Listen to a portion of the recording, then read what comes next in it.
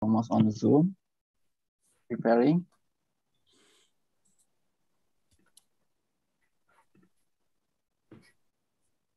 So we already have Mbak Julia Suryakusuma also joining us. Thank you so much, Mbak Julia, for coming. I will invite you in the forum later.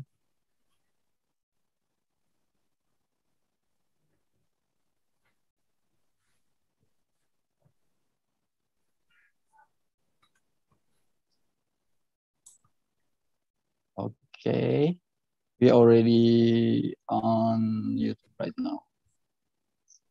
Okay, we can start. Uh,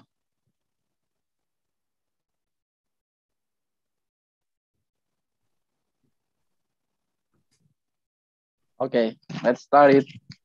Uh, thank you so much. First of all, welcome everybody to uh, Talk Social Forum, very special uh, today, not only because we we we use it is uh, English edition, but also we, we have uh, three very very important guests today.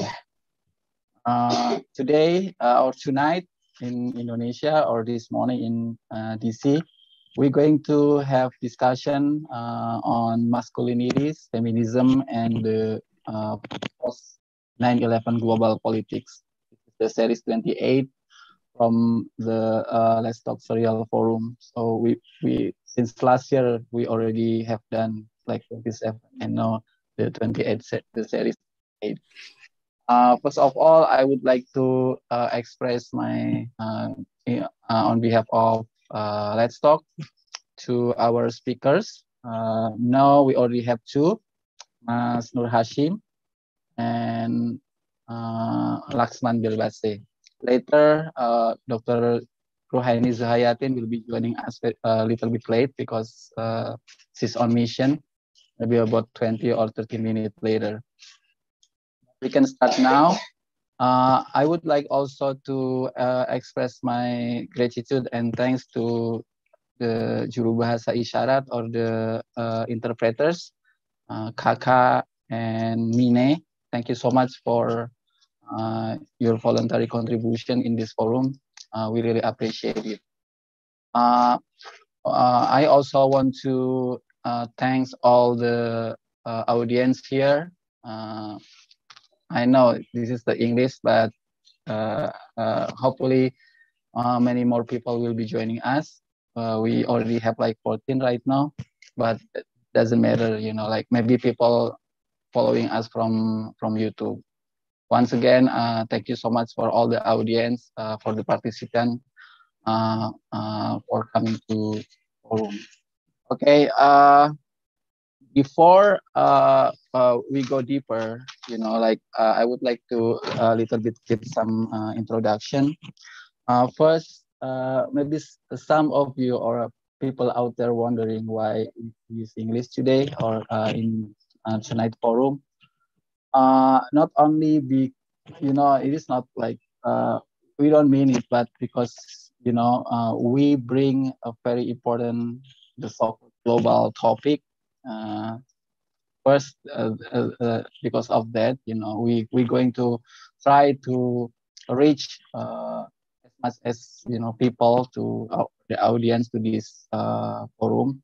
Once again, it's not only who lively uh, attend this forum, but also people who later, you know, like uh, following us from YouTube or later uh, listening the discussion from the recorded uh, YouTube, uh, things like that. So we we really want that this uh, topic on you know, you know the, the global topic related to gender masculinity can have bigger audience over there like internationally. Secondly, because we also invite very important uh, speakers, uh, resource person right now.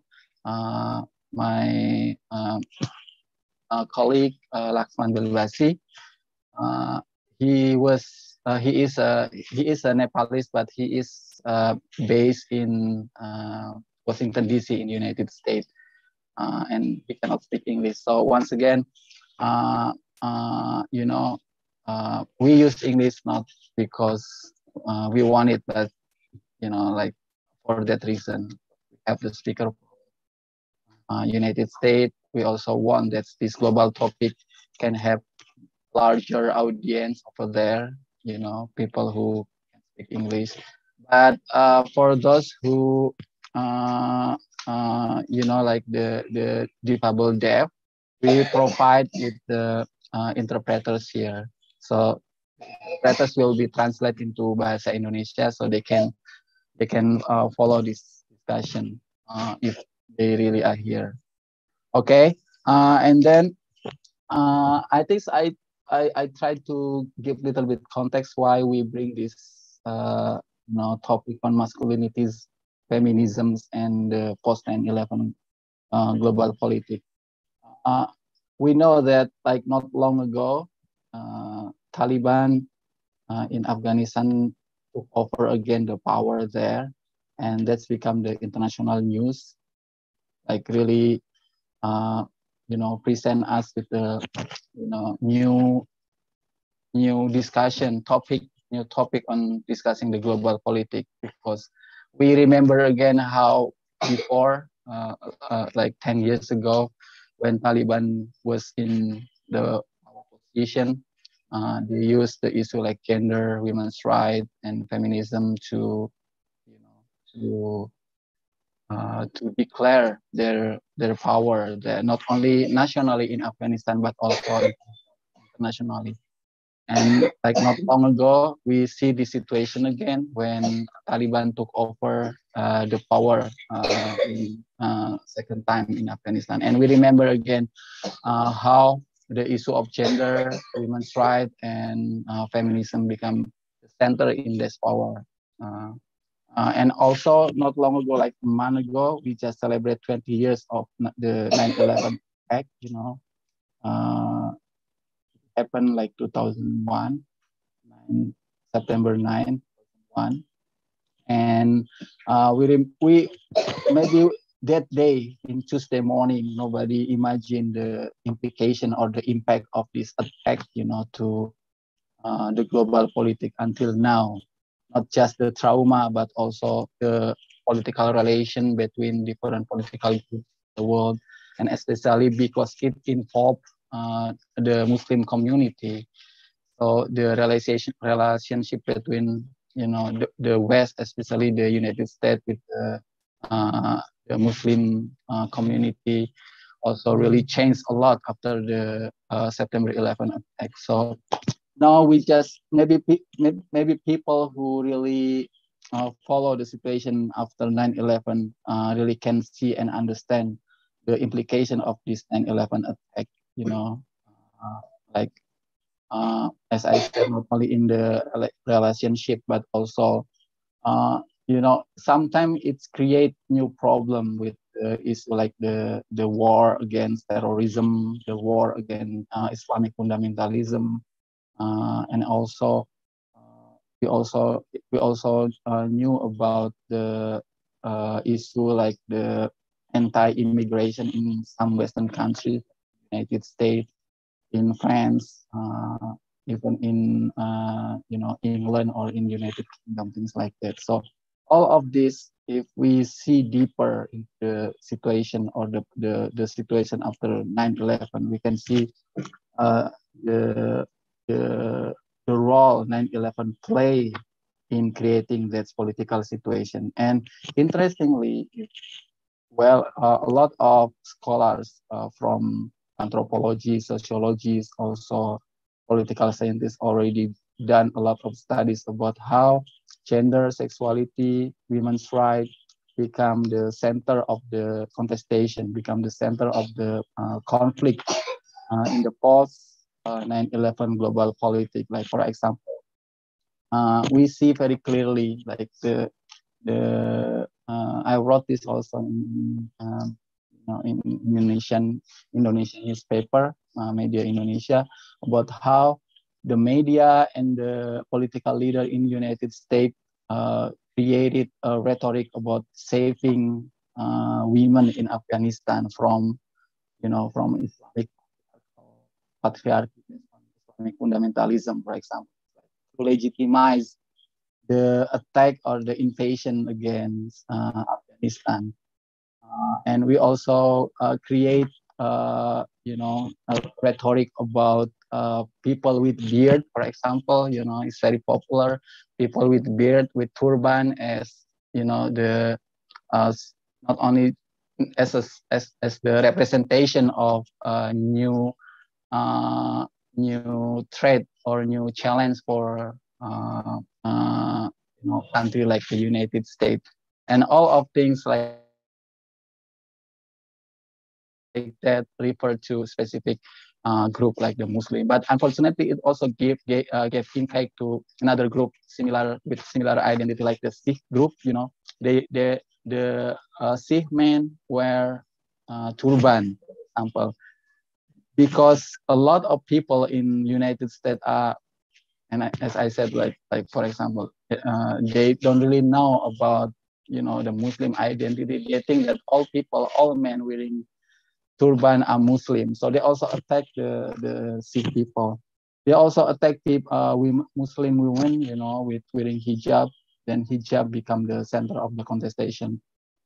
Uh, on the other hand, because of that campaign, because of because of the politics, so many Muslim groups or Muslim community try to uh, develop, you know, like new orientation of, you know, the idea of gender equality, women's rights, and feminism or the so-called Islamic feminism.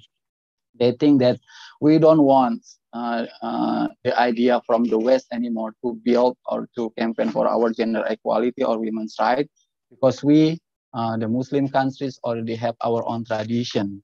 Uh, uh, we reject the idea like feminism, uh, liberalism, secularism, all of things like that from the West is not really relevant and and even dangerous for uh, the idea of gender equality, women's rights, uh, uh, like that in the Muslim countries. We rather propose our own Islamic tradition to create, uh, you know, like gender equal community, gender equal Muslim community, like that.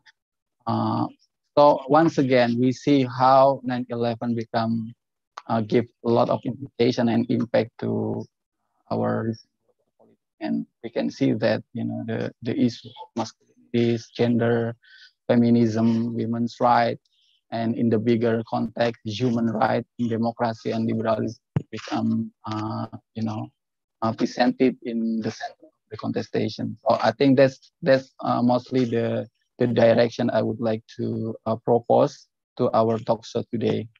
Uh, once again, uh, thank you so much to our uh, speakers, Mas uh, Nur Hashim, and uh, we, we we are waiting for uh, Dr. Ruhaini Dzuhayatin. This is talk show. Uh, we really mean it as a talk show or an interactive discussion. So we invite everybody to you know use the chat room to or even in the middle of conversation between me and the speakers, you, you can raise your hand if you have some idea to talk, you know, to express uh, please feel free. You know, we really mean it as an interactive uh, discussion forum.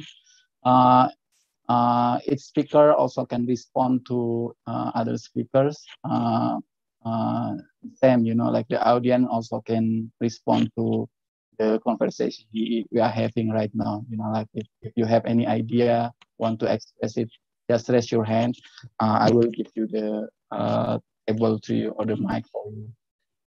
So that's the so feel free. Uh, uh, you have the audience have the you know have the same uh, opportunity, have the same chance to express your idea to him. Okay. Uh, okay. Uh, before we we start the conversation, I would like to introduce uh, uh, my guests today, uh, Laxman and um, Hashim from Mbak Ruhaini Dzuhayatin later, who, who going to join us later uh, to you all. Uh, first, uh, I would like to introduce Laxman first. Laxman Belbasi, Belbase, MSc. Uh, he is a Nepalese, but he is now uh, uh, based in Washington, D.C. He is the co-director of the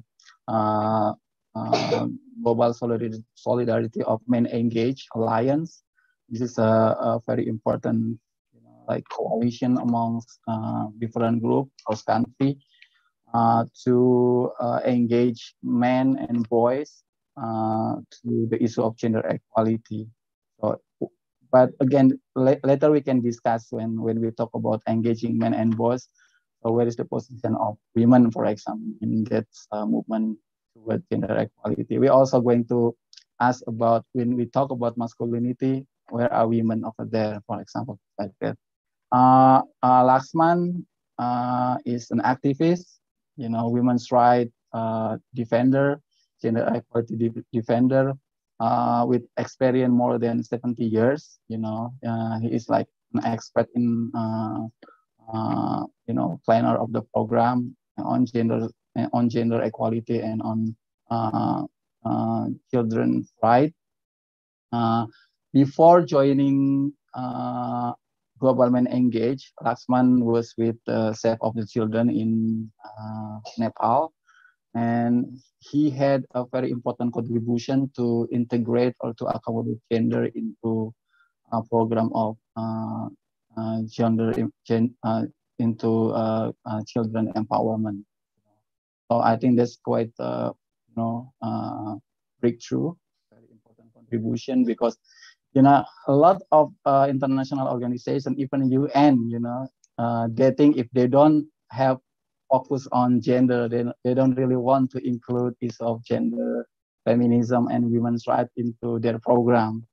So if we have figure like Laxman who work on gender equality and then try to uh, introduce, uh, you know, integrate gender into many program, uh, not only gender program, that's very important uh, contribution you know, not only to engineering the program, but also to engineering the that organization, you know, like changing the the mindset, changing the perspective, changing the politic uh, in the organization.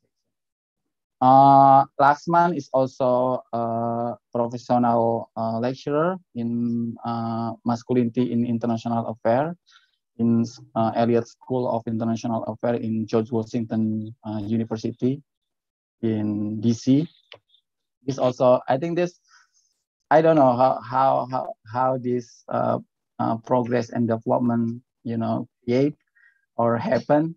Uh, uh, now like the masculinity studies even become more popular in uh, academia. I think this and and a good thing is you know when finally we have the uh, correlation between what we do in outside academia and then we uh, we discuss it, you know, we study it, uh, uh, academic institution. I think that's also a very important uh, experience and that we can learn from him.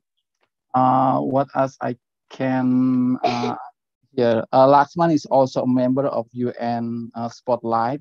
Uh, you know, to uh, to to end uh, violence against women.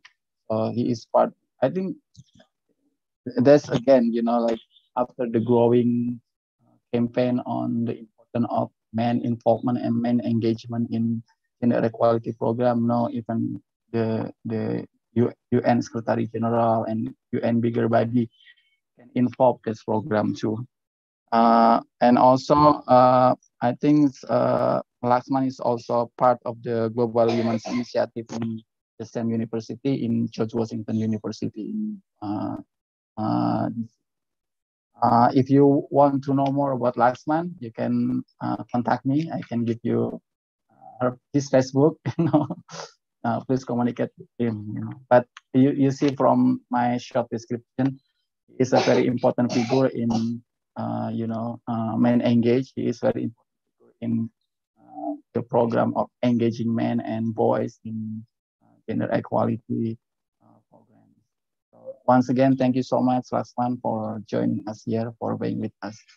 Uh, second, we have uh, Mas Nur Hashim, also known as Boim, very popular in Indonesia as Boim. If you uh, say, uh, you know, mention Boim, everybody working on gender feminism in Indonesia will should know uh, uh, because he, like Laxman, he, Mas also has very long experience in this program starting from uh, when he was uh, an undergrad. You know, he volunteering in uh, one of the oldest women's crisis center in Yogyakarta called Rifka Annisa. until finally Mas lead or led the organization, the uh, men's desk in uh, women's uh, in Rifka Annisa in Yogyakarta. Uh, so like maybe more than 20 years ago.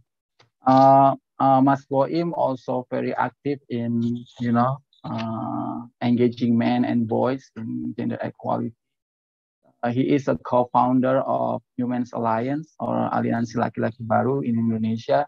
Uh, you know, uh, this organization is the pioneer in uh, the so working with men and boys to end violence against women, to promote gender equality, uh, to uh, strengthen uh, feminist idea.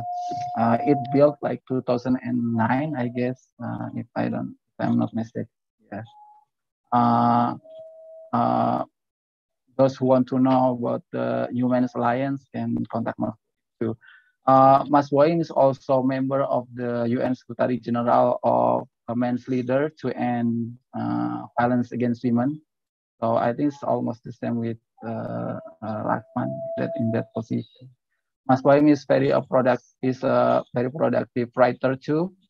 Uh, he writes in newspaper. He write uh, books. He write a journal article on uh, issue gender issue on gender equality, women's rights, and particularly on uh, masculinity. So we in Indonesia really uh, owe a lot to uh, the academic contribution of uh, Mas Boim or, or Nur Hashim, uh, who active, actively, you know, produce uh, this kind of uh, academic work, you know, because it's still very rare, the reference in Bahasa Indonesia, in Indonesian about masculinity, about engaging men and women, engaging men and boys in gender equality. So we need more uh, figure like uh, Mas Boim. Uh, Mas Boim currently is a lecturer in sociology in uh, UIN or uh, State Islamic University of Walisongo in Semarang. Uh, um, yeah, it's like outside his hometown. So I think Mas Boim need to commute from Jogja to uh, Semarang. I don't know every day. that's really tiring. But that's real man. Mas Boim uh, has a BA in Islamic law from uh, State Islamic University uh, Sunan Kalijaga in Yogyakarta and an MA from uh, Wollongong University in Sydney, ya Mas ya, in Sydney, uh, Australia. Yeah. Uh, what else I can introduce? Mas Boim is uh, an expert trainer and resource person on the issue of gender uh, equality, on feminism, and uh, particularly on the issue of community and engaging men and boys in for gender equality programs. Once again, welcome Boim. I really appreciate your presence and participation here. Thank you so much. Uh, uh, even though uh, Dr. Ruhaini is not here yet, I would like to introduce you to to, uh, to you all, uh, Dr. Ruhaini Dzuhayatin, uh, who will be joining us later. Professor, uh, doc, Professor Dr. Ruhaini Siti Ruhaini Dzuhayatin, MA. she is a professor or in Indonesia guru besar in gender and human rights studies uh, from uh, State Islamic University Sunan Kalijaga uh, in Yogyakarta.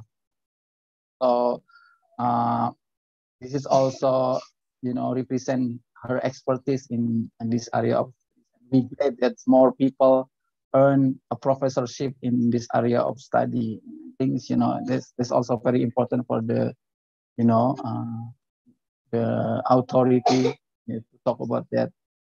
Some people really see the the status of the figure before before before they talk and we really glad that we have more figure uh, who earn professorship besar in this specific area gender and human rights studies uh, Professor Dzuhayatin or Dr. Ruhaini Dzuhayatin is currently also an expert advisor or special advisor uh, on international religious affairs to the President of Republic Indonesia. Uh, her assignment, uh, among her assignment, is to promote uh, Indonesian model of Islamic of tolerant Islam, you know, to the uh, global community. Or we call it the uh, Islam wasatiyah or moderate Islam, non-violent Islam, things like that. Uh, currently, we work on that. You know, we have the model of how Islam and being Muslim experience or live without violence, and that's really matter for our uh, uh, current politics. Islam is not only live or experience, but but also uh, stereotype as you know the religion of violence. With this very very specific position as a expert or expert advisor to the president to promote uh, non-violent or moderate Islam, uh, this will be very important role uh, for Dr. Ruhaini Dzuhayatin. Uh, she, she has been a pioneer for uh, gender equality in the Muslim community in Indonesia, you know, since long time ago, especially through uh, the Muhammadiyah, one of the largest Islamic organization in Indonesia. Uh, she initiated a lot of gender program in that uh, organization and even you know like to enter the organization as a woman is already difficult but uh, Dr. Ruhaini Dzuhayatin initiate all gender program on that uh, you know organization. Uh, even though this organization considered to be uh, a modern organization, but still you know to introduce or integrate or to promote gender equality and women's rights through that kind of organization is very challenging. But we're glad that we have a figure like Dr. Siti Ruhaini Dzuhayatin.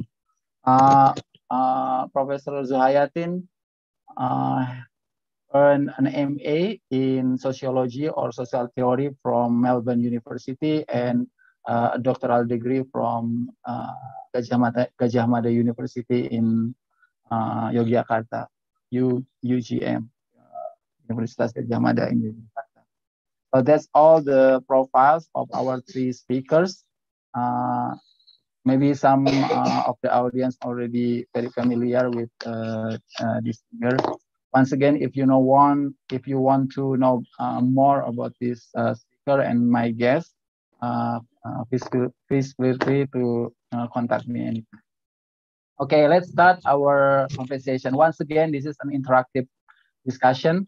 So we would like to invite all the audience to, to engage in this conversation. If you have any idea, uh, you can write or you can also uh, raise your hand uh, uh express your opinion okay uh, let's start with the uh, the concept first before we go deeper into the relationship between masculinity and the politics let's start with the with the concept maybe we can we can ask uh, Laxman if Mas Boim later uh, want to respond uh, many people talk a lot. You know, it's become very popular concept too about uh, masculinity.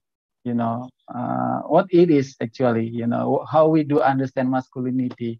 Uh, do you think uh, we can only uh, understand or conceptualize masculinity as a single concept, or there are many different concepts about masculinity?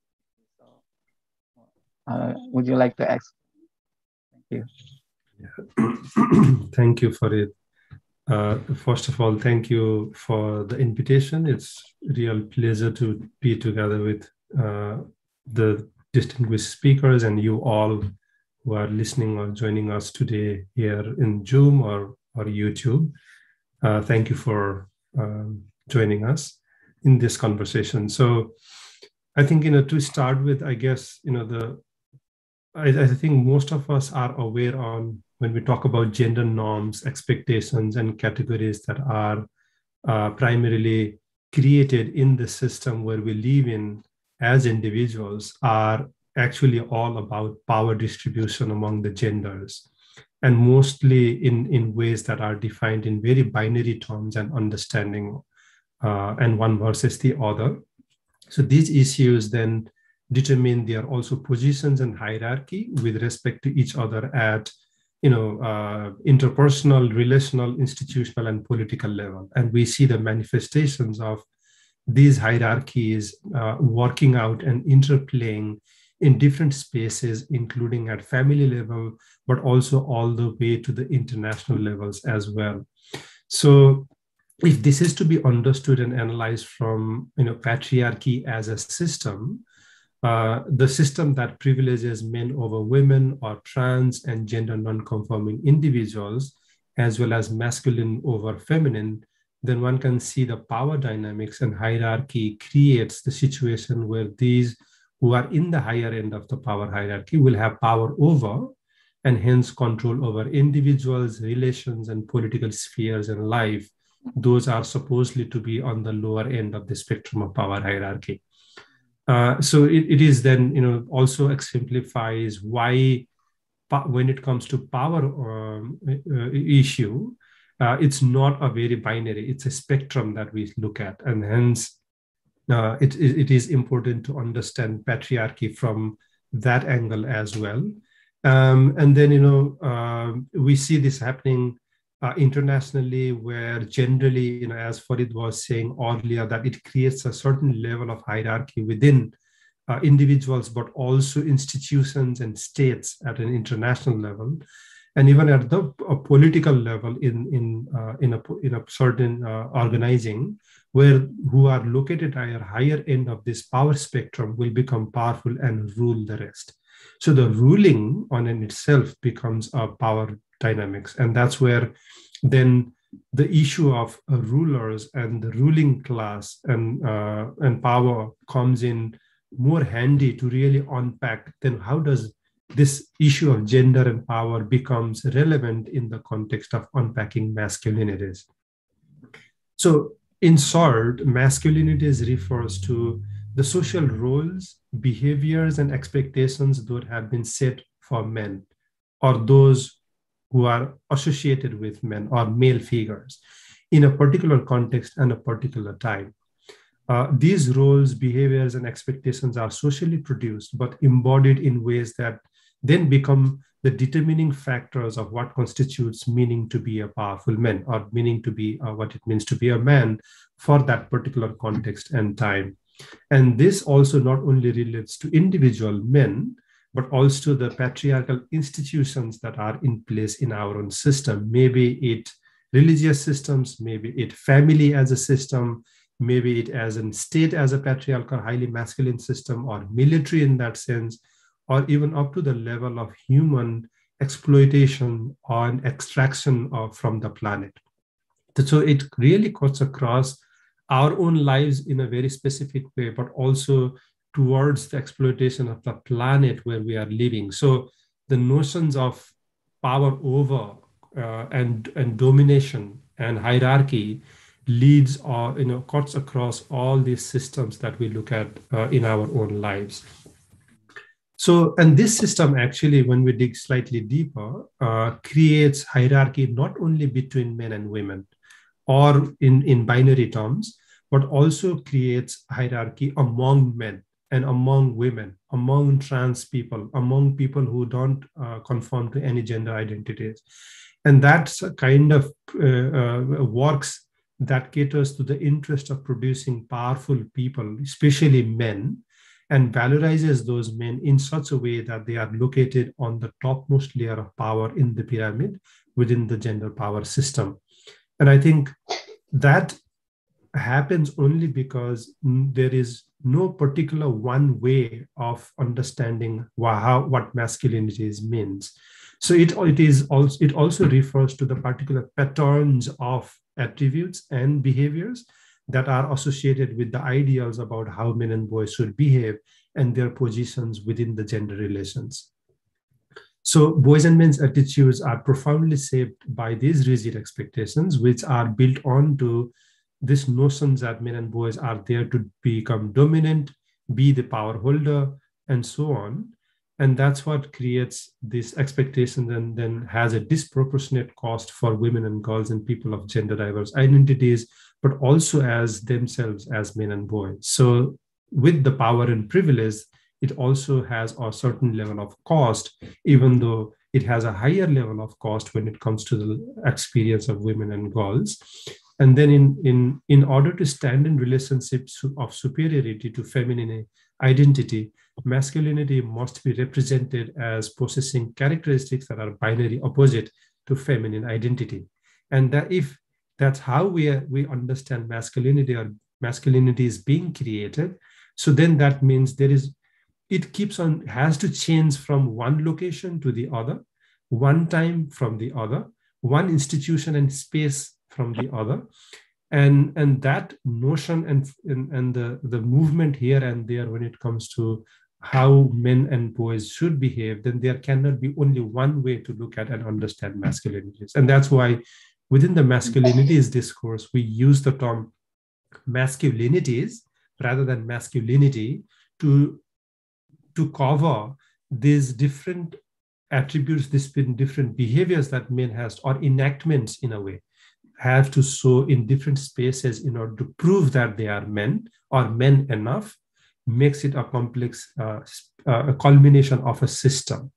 And then that's why it, we generally use uh, in plural terms uh, when, as masculinity. So and again you know uh, whether we can only think about masculinities among men or or and i think so and defining what constitutes masculinity primarily is done in conjunction or, or as opposed to whatever is considered as feminine so the idea is as a masculine man or masculine person what only thing you need to prevent from is swaying off as feminine in the way that is understood in the context, in the structure you are in.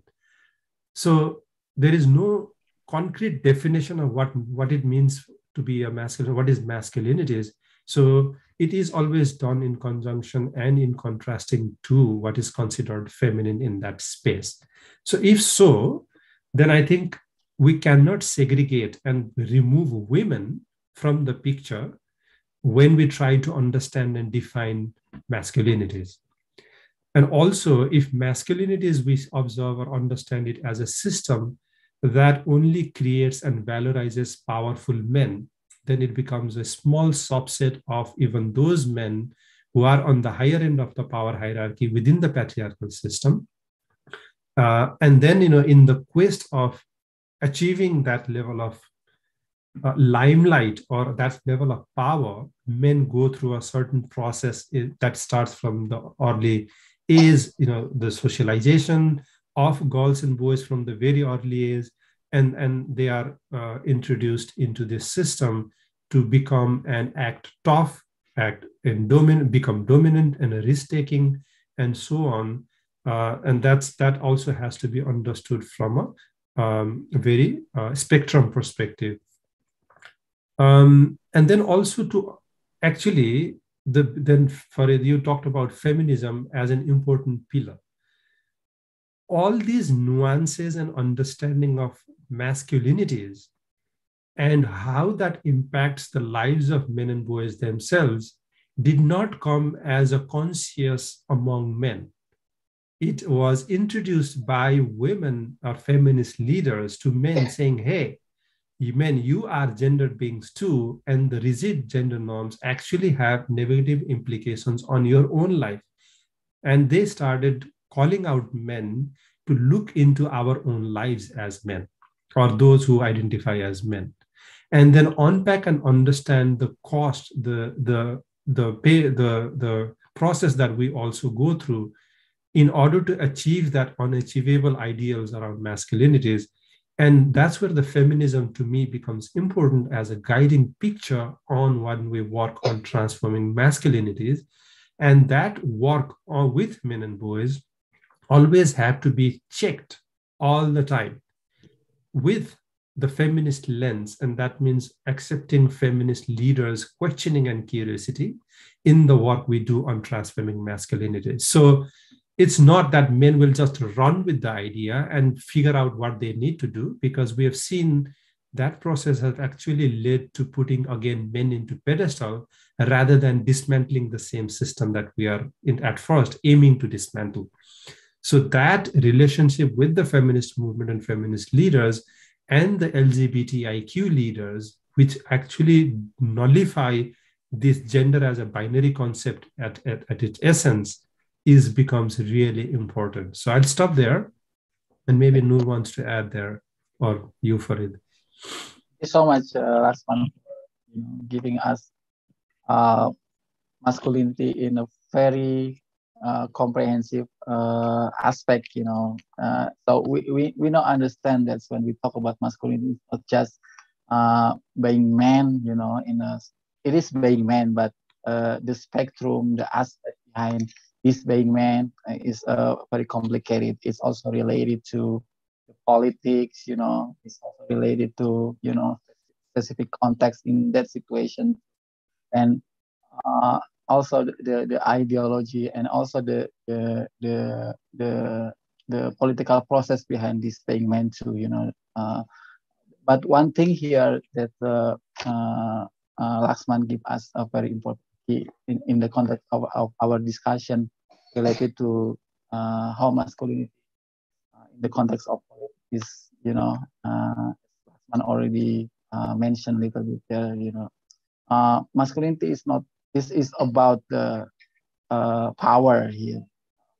Uh, how men deal with the power, how men manage the power relation with others. And it's not only about men with women, but also men with other uh, men, and then with other the so-called gender who, uh, you know, in in uh, not binary uh, category are diverse, for example, like that. So we need to think about the wide spectrum when we talk about the uh, masculinity. That's why we uh, have the foundational understanding why it is relevant to talk about masculinity in the context of, uh, uh of the politics. Uh, one of things, one of what this is because it's related to the to the power, you know, and uh, you know when we, we talk about power, how we manage it, how we overcome with the the power offer as uh, uh, Laxman mentioned a little bit in the uh, uh presentation, like that. Uh, Boim, if you wanna uh, add something, but maybe uh, uh, Laxman uh, gives some, you know, like uh, concept here, conceptual framework. Here. Maybe Mas Boim can give us like little bit example, you know, uh, both in the global politics or in the national uh, what masculinity are in social realm can have insight uh, what it is when we talk about the masculinity. Yeah, I think, uh, thank you, Laxman, for uh, clarifying the concept that helped us to understand the uh, masculinity concept as a uh, concept that we discuss today. And um, uh, I'm quite interested in uh, commenting when uh, Laxman uh, explaining masculinity is not only about how men perform, how men behave, how men uh, act, but also masculinity is about power yeah. I think uh, this is quite uh, uh, interesting. And um, i would like to uh, discuss when uh, farid uh, mentioning about the topic of today's discussion seeing the issue of masculinity and feminism in in the context of post 9-11 tragedy, tragedy, I would say that 9-11 uh, tragedy is actually uh, an indicator that uh, our global order, it can be politic, it can be economic, is uh, uh, for me is shaped by uh, masculinity norms. Yeah when I saying uh, shaped by masculinity norms, uh, how our global order uh, the um, uh, masculinity masculinity norm is uh, as a as an as a standard as a norms yeah.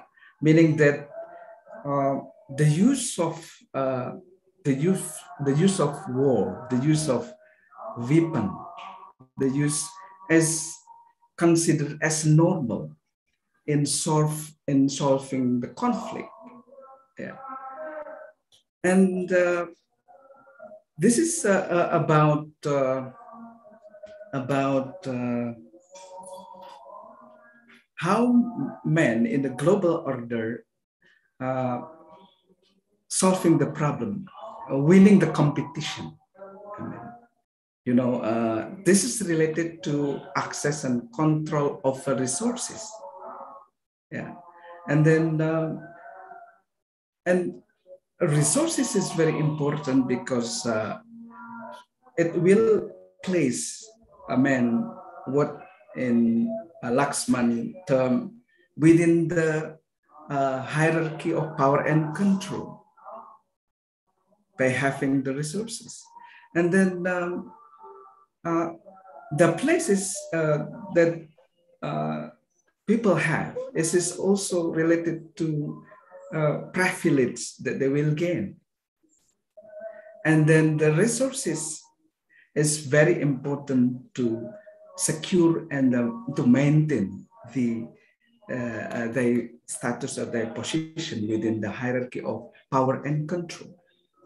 So I think the, the 9-11 tragedy is an indicator that our global order is shaped or maintained by masculinity norms.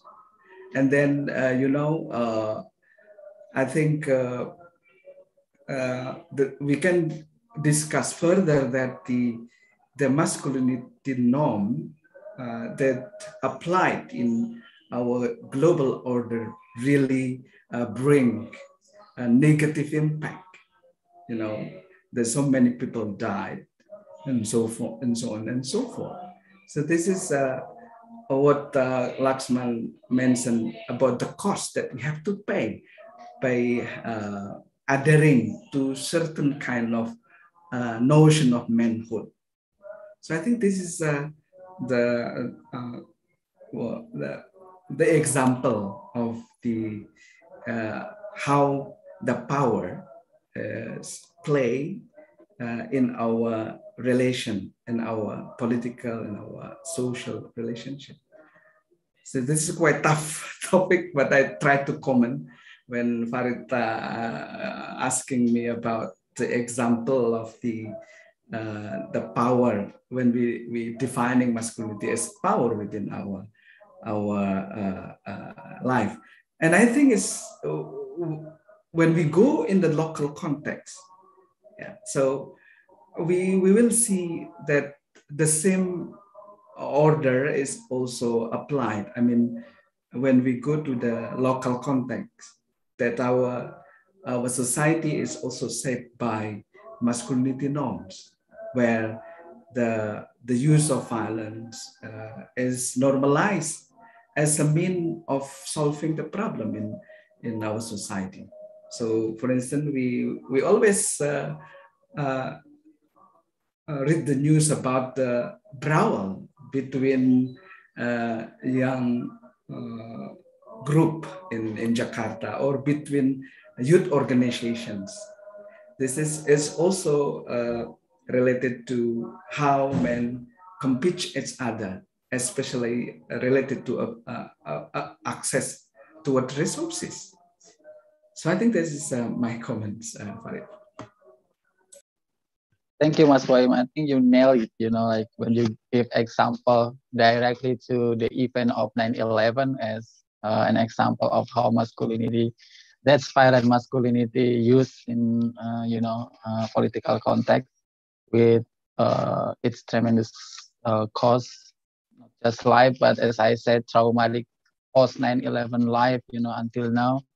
Uh, and also with the creation of you know mindset that things like that is not possible you know like everywhere uh, but uh, it raised my question too. We know that we have a concept called from uh, Raewyn Connell called hegemonic masculinity, like people idealize certain masculinity as uh, the most uh, imagined, you know, like the most ideal, ideal uh, of being uh, masculine person, things like that, like with violence, like uh, with musc- with muscular body, if that's man, and then leader who, you know, with strong and disciplining order, for example, things like that.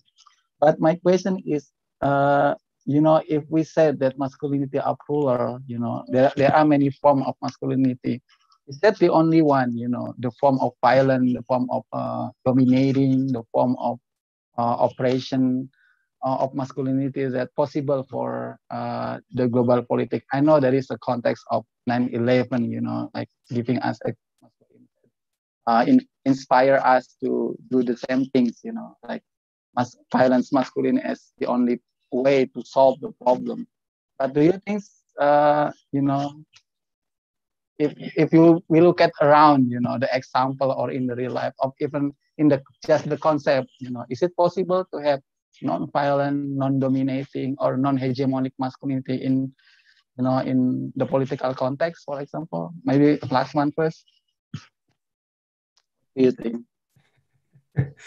yeah, no, this this concept uh, where I come from, still it's it's uh, it's debatable on the whole uh, phrase hegemonic masculinity. How helpful is it, or is it not really helpful to really understand, um, you know, the the power and control uh, uh, gender power uh, system but I, I, think the the importance here is that the hegemony as a term actually is derived from uh, the Gramsci's analysis of power relations um, way back, and and that being used to understand what makes certain groups of people uh, enact in a certain way to gain power, and how they can you know remain in uh, at the level of control.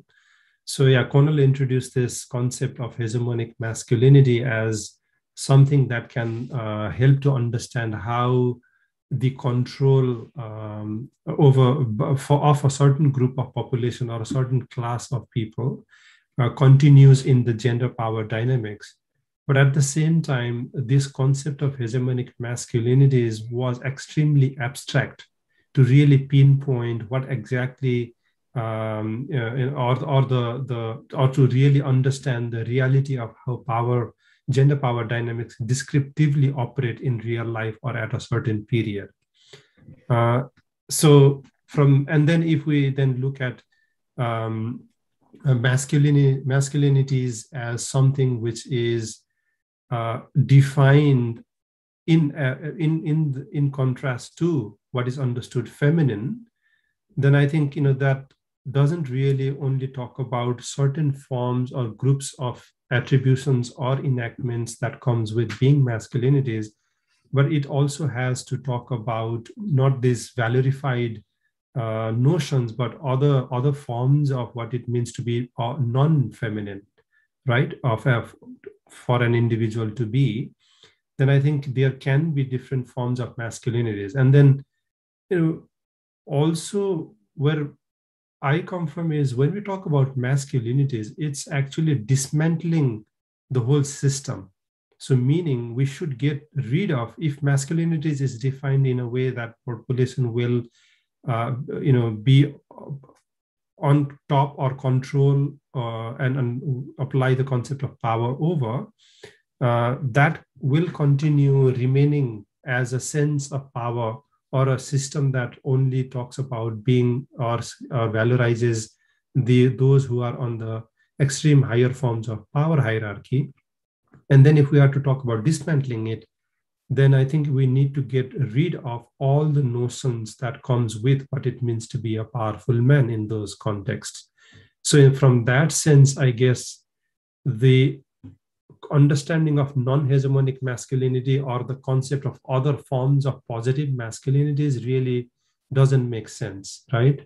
Um, so you know, if we are to dismantle patriarchy, then we have to dismantle the system as a whole. We can't say this part of patriarchy is nice or this part of masculinity is nice. but people can be more human rather than you know again getting into the gender binary boxes of how men and women are supposed to be enacting but rather you know bringing more human flavor to this conversation. So bring humanity more forward rather than what is what are expected from a particular body or a shape of a, of a body. So from that sense i think uh, and and this we also see um, happening in the global politics is it's not that hegemonic masculinity or the way it is it was understood being applied in this uh, area um, or to really understand the global order that Noor was talking about is that it it boils down to that not all ways of being in a power position or the highest level of power position comes with violence all the time there are various tactics that are being applied consciously and subconsciously to bring about that division of who is powerful and who is not.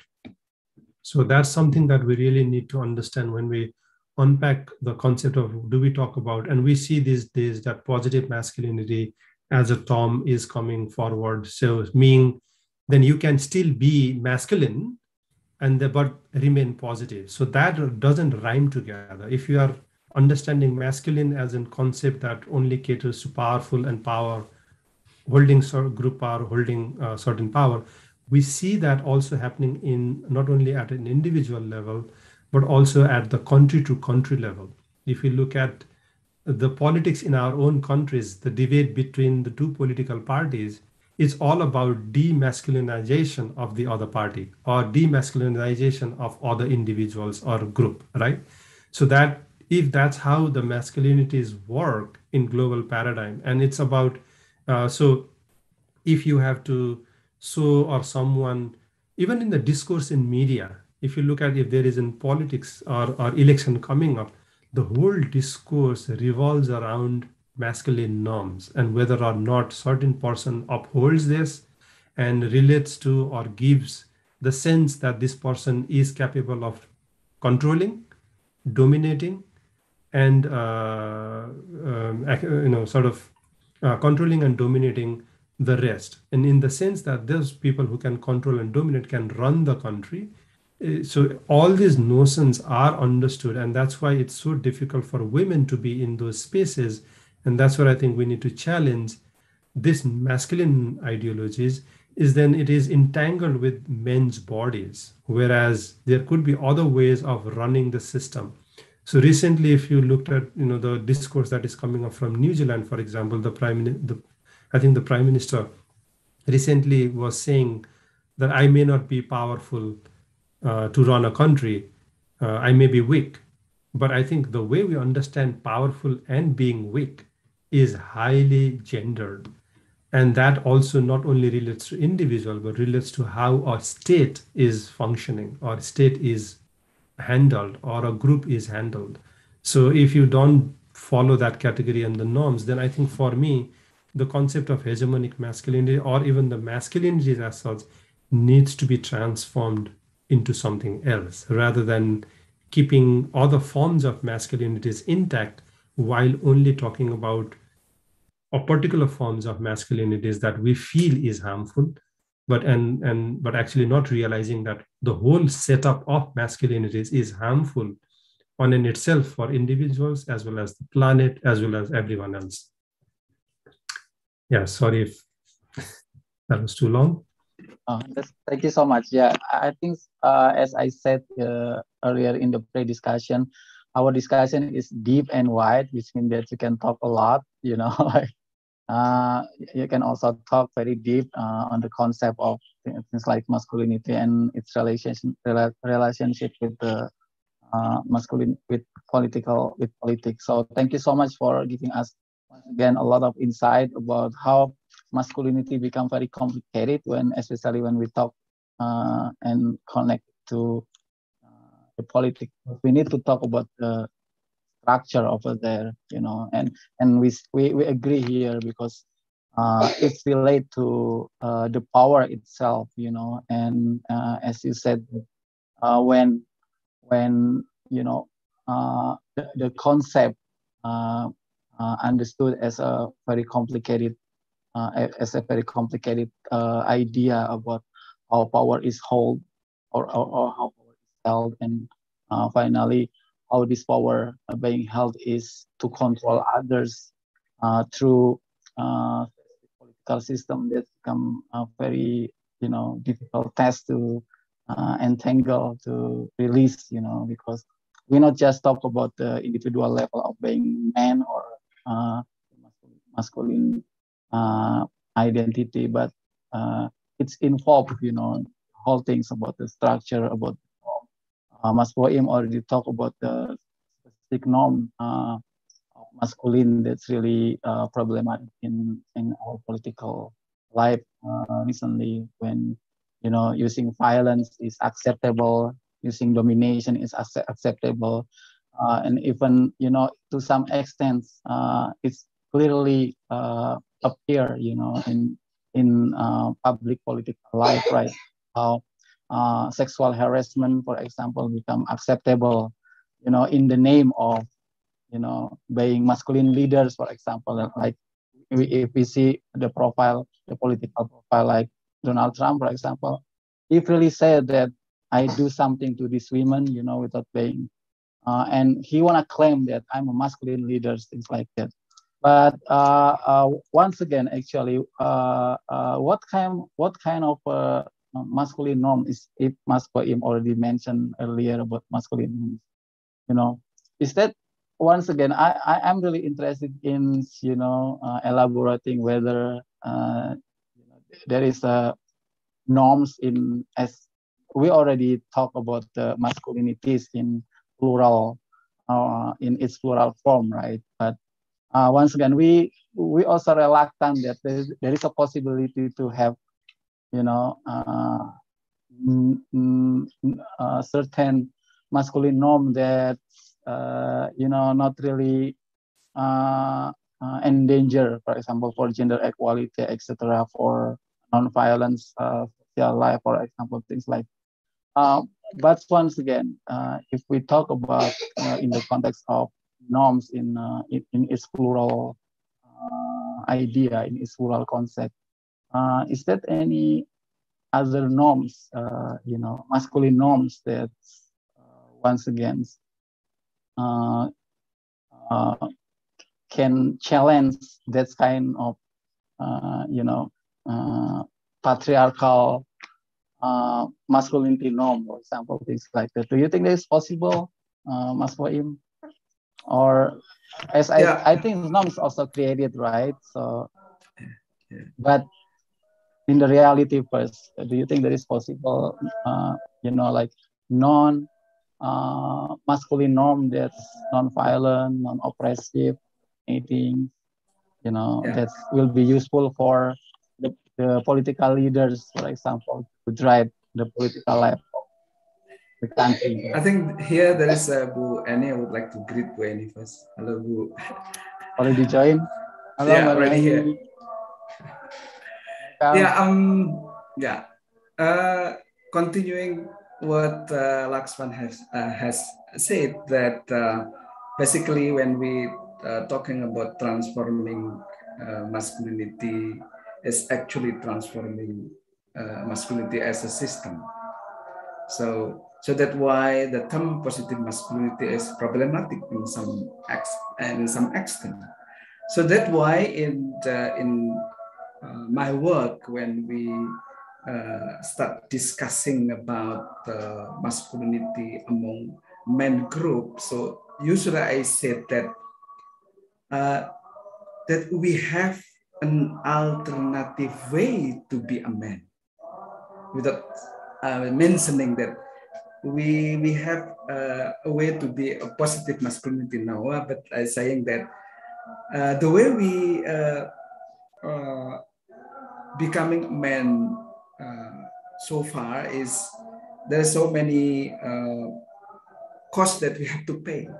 For instance, when we adhere to the notion that being man, it, it, should be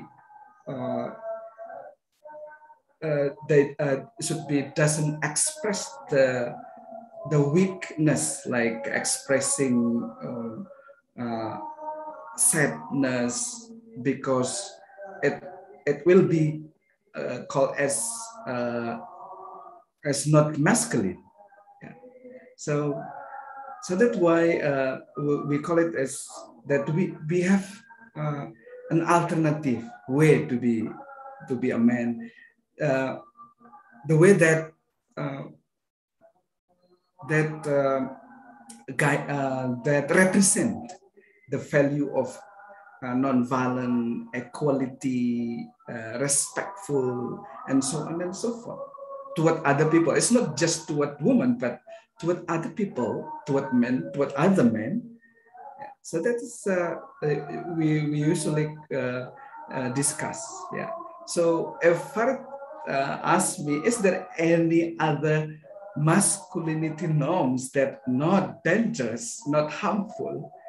This is quite difficult. I usually uh, say that when we're working with men, we're transforming the individual, we're transforming the, the way they relate with other people. And then the, the last one is we're transforming uh, social norms that represent the, the values of equality, uh, non-violent, and so on and so forth.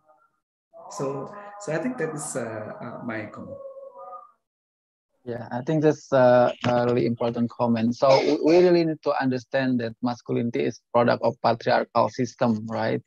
By itself, that if we talk about patriarchy, it is uh, uh, related to uh, who the hierarchical uh, system to you know who who uh, things to be uh, having legitimacy to be in the power holder, right, in the power position, and those who in power also uh, view as having legitimacy to dominate others. I think the whole system about uh, you know the the masculine idea, masculinity norm, uh, as a product of patriarchal uh, system or patriarchal ideology is very important here to understand that uh, you know by itself you know it is hard to to to uh, have different masculinity norm you know rather than this kind of norm who uh, dominating uh, especially when in power you know even when they have no power when uh, it is men, you know related to masculinity this will be leading into uh, domination rather than equality we have one question here. I think uh, uh, uh, question of clarification, asking about clarification from Suraya. Suraya is a lecturer in the State University of Surabaya in uh, East Java.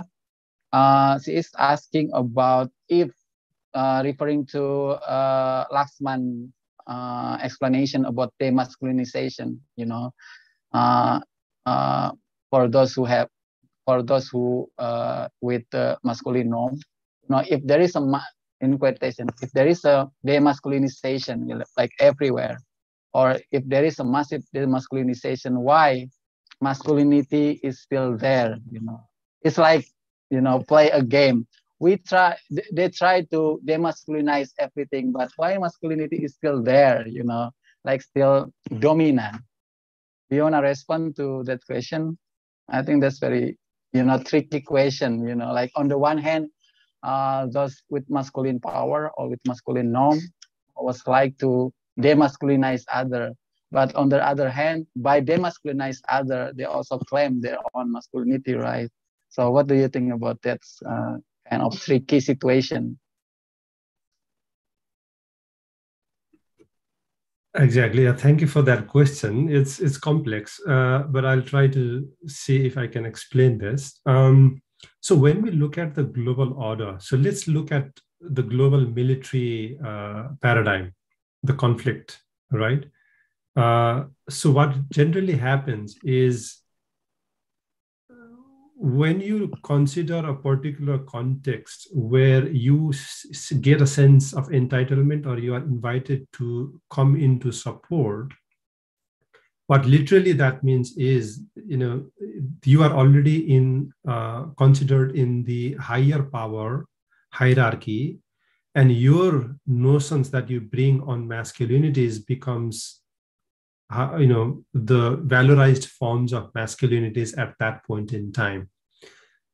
When you are entering into a country, the receiving, receiving country or receiving groups then becomes demasculinated because I think the concept is then, you know, there is another higher authority that is coming into the picture. While the same group was still in authority or can remain in authority in the particular context, but once the one that is considered or coming in with a higher even authority, then your you know the the masculine authority that was there of that particular group then is questioned so by this this higher authority group coming in uh, with power the the association of this group in a particular context then gets valorized in conjunction with that new entity that is coming and hence that then escalates further to masculinize the the group.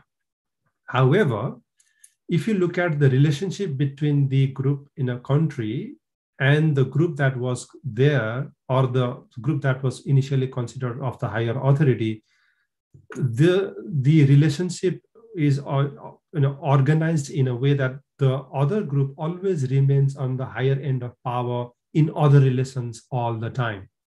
So even if there is and then you know whenever one will speak about the other that exertion of sense of power over always becomes a dominant narrative between the relationships. And that relationships not only remains in one political paradigm but everything else. Look at economic paradigm look at international relations paradigm.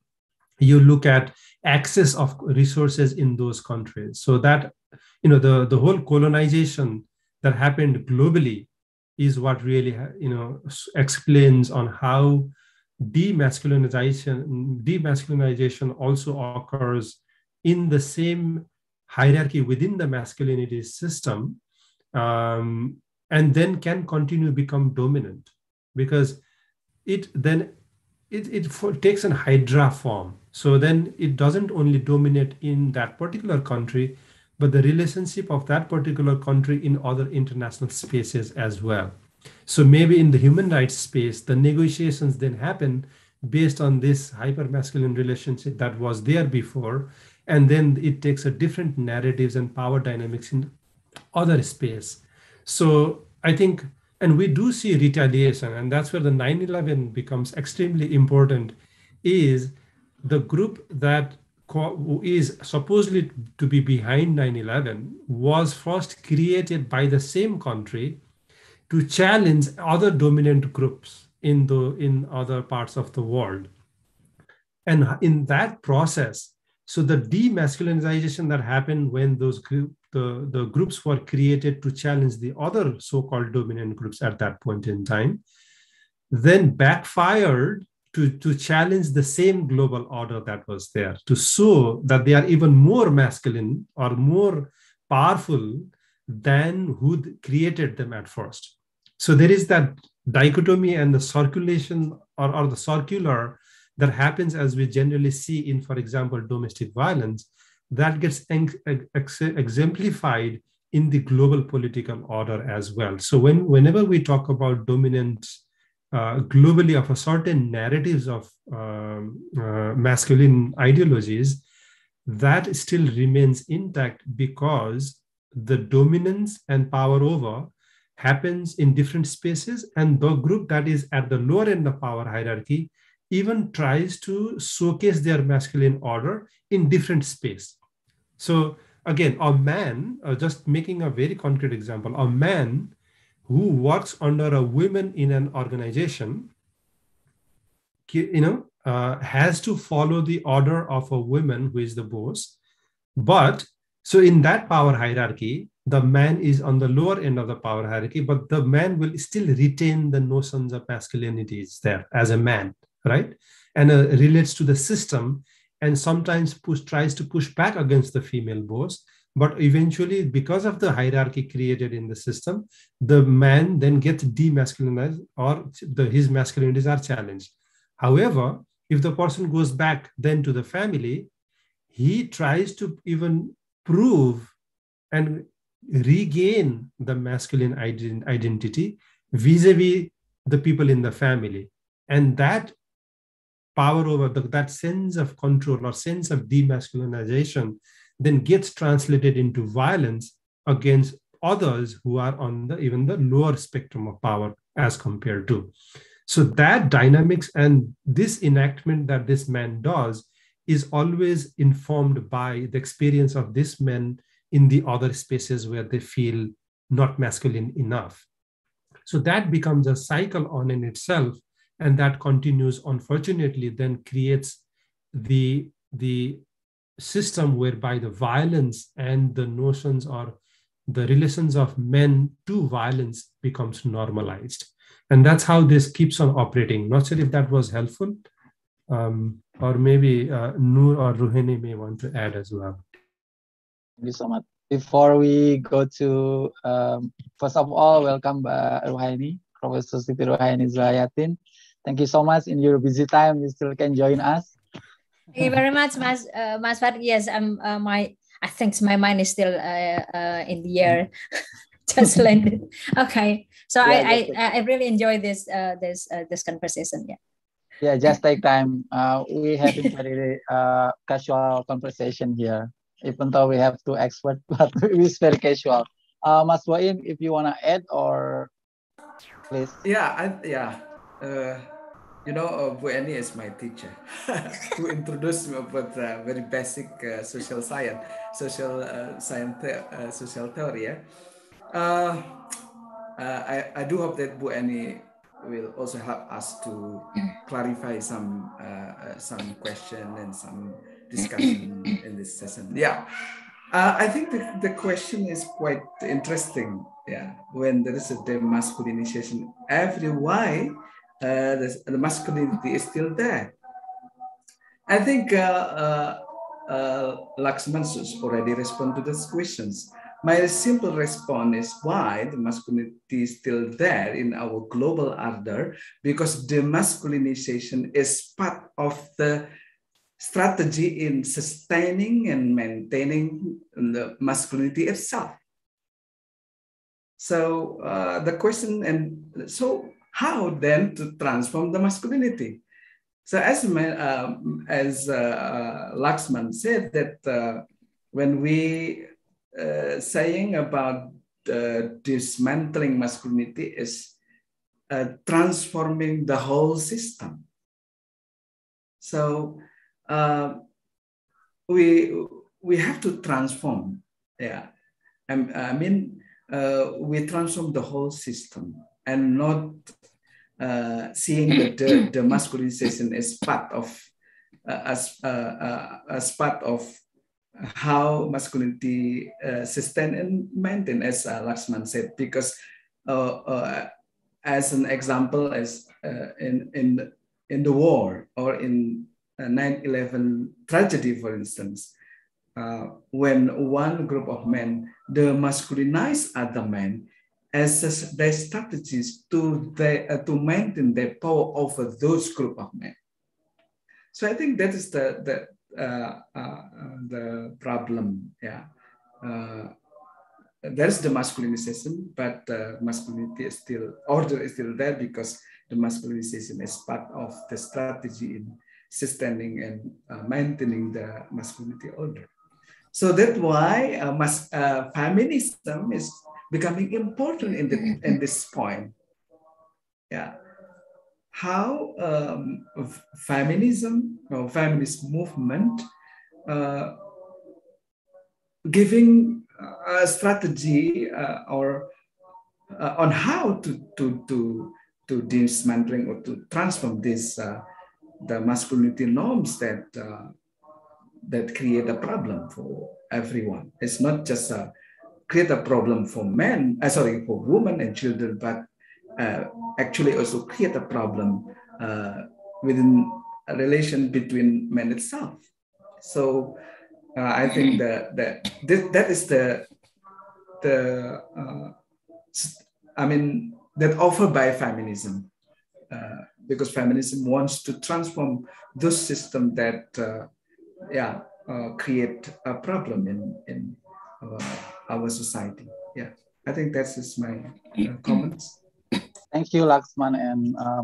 I think one thing we can highlight here in as a uh, conclusion for uh, explanation is uh, we, we need to understand that masculinity here is a, a system of domination or uh, you know system of power. We can transform domination with domination.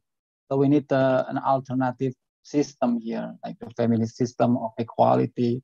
That's why uh, if we if we use domination to de-dominate to de-dominate, for example, or if we want to do de-masculinization uh, of masculinity is uh, turned into a vicious cycle, you know, like things like that. You know, that's why if we, if we understand that masculinity uh, is a, a, system of domination, we cannot use it to transform the the system. You know, it's it's the it's the it, uh, even though we try to de-dominate, you know, like to reduce the domination, but especially the process of reducing the domination is to claim another domination. And as we said that it is also a system of hierarchy, right? Uh, it's always create another hierarchy. Those in higher power always, you know, uh, so those who those who in high, in higher power actually try to demasculinize to gain uh, greater power, always things like that. So once again, we need to understand that masculinity here as a system of domination, as a system of hierarchy, as a system of power, you know, like to try to uh, try to uh, reduce the domination of other to gain uh, the greater domination of itself, you know, things like that. So once again, I think we're going to move uh, deeper our conversation uh, to talk about uh, the connection between masculinity and the 9/11 uh, global politics. After, I hope that you can uh, take away a lot of uh, understanding from the discussion on the concept and the theory. Okay, and I think that's very important foundation for our understanding on how masculinity is very relevant to uh, uh, talking about uh, the 9/11 global politics. Maybe uh, I hope uh, Dr. Siti Ruhaini Dzuhayatin already ready to uh, join our conversation. So I will give one our, our first question. Is it okay? I will uh, try. I will try. Yeah, um, but, Ruhaini, uh, you see that uh, I think you you very close uh, observe the situation of uh, post 9/11 uh, in especially it impact to uh, the Muslim world, right? And how you know, like after 9/11, the Muslim world is uh, stereotyped or even uh, categorized as the enemy of the the West, for example, like that. And uh, you know, in in that claim of being enemy or the enemization, I said enemization or being culprit of the a lot of problem in the global uh, politics uh, we also, you know, like the, the West also uh, present a lot of issue related to gender, uh, human rights, women's rights, and also feminism and and even masculinity itself. You know, like the the profile of uh, Muslim men who uh, have beard, for example, wearing uh, turban, uh, things like that, become the hegemonic profile of Muslim men by the West, and that idea also uh, brought by uh, the West to legitimize the invasion, for example, to you know country like Afghanistan and then Syria or Iraq. Um, uh, maybe my question is that uh, uh, you know how do you think uh, why why do you think uh, here you know the reflection is why uh, first uh, is that is, is the the claim that the Muslim, the enemy of the West, is accurate, or it is just you know like pseudo reality created as a rhetoric by specific group, and also why you know uh, by using the issue of gender, masculinity, and feminism and women's right in you know making the Muslim world as enemy. what do you think? Why it is important for you know the West to uh, you know, present the issue of gender here in creating the new enemy among the Muslim. Um, thank you very much, Mas Mas Farid. That before I uh, my uh, short presentation, I would like also to greet uh, our senior here, Mbak Julia uh, Suryakusuma. Uh, she is uh, she is our mentor actually, and um, I hope that we will have also the opportunity to uh, listen from uh, from her and also from uh, her and uh, her critical um, response to what's happening in day to day conversation and also in much more global and macro system. So. I hope Mas Farid that that we also have an opportunity to um, communicate communicate uh, with Mbak Julia. And also, I would like also to uh, to greet uh, some uh, friends here, uh, Mas Adi, uh, and I, I also uh, I'm I saw also my um, uh, my sister here, uh, Sadra Prihatin is actually my uh, my my sister since we are in um, in the boarding school in Pabelan. Hello, so, love. Good to see you on my screen. Thank you. Uh, um, Mas Farid, I, yes, uh, I think um, uh, I, I, I just continue what Laxman and also uh, Nur, Nur Hasim. It is very difficult to me to say Nur Hasim because the the oh, lovely name, just... yes, the lovely name of uh, uh, uh, uh, of his is actually Boim. So I think um, uh, what what what has been uh, discussed earlier when I was still in the car is very um, it's, it's, very important and it's very basic to understand what's happening uh, now in the in the global politics and also the recent developments particularly Uh, we are uh, actually uh, struck by the return and the re- resurface of Taliban in Afghanistan. So before coming to your question, I just uh, I would like to um, uh, to reflect uh, my my impressions of being in Afghanistan before um, before the before the the coming of Taliban and I think in the beginning of the pandemic. So uh, I, I, I really I feel I really feel uh, what uh, has been explained in detail by Laxman and also by Boim uh, what's happening in Kabul. So that is actually the, the expression of what um, uh, what we uh, tonight discuss about hyper uh, masculinity. In, in my own language is maybe more than uh, that, stronger than that, hyper masculinism. So this is actually the thing that um, underlying all the uh, all the all the conflict and all the um, all the complications of uh, of, of our um, political uh, system uh, right now. And in relation to your question, my understandings of um, 9/11 is actually uh, the peak uh, in the blow of uh, the clash of hyper masculinism.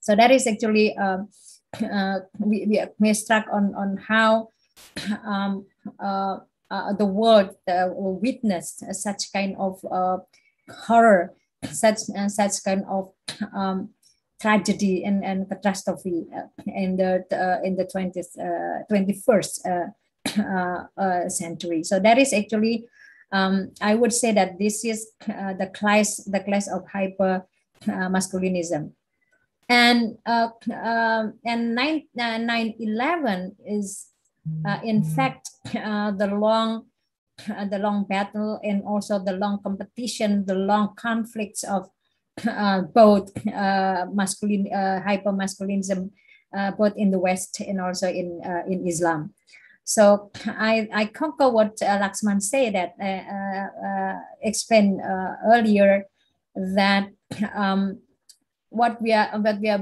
witnessing now is actually the response, the masculine, the hyper masculine uh, response to uh, the hyper uh, uh masculine uh, power over uh, people. So, Oh, so, uh, so, what is what, what is the uh, the alternatives? Yeah. So, I think um, uh, before be, also before I I also touch upon how the Muslim will will also respond um, to what the West used and also abused. Yeah, the um, the 9/11 tragedy.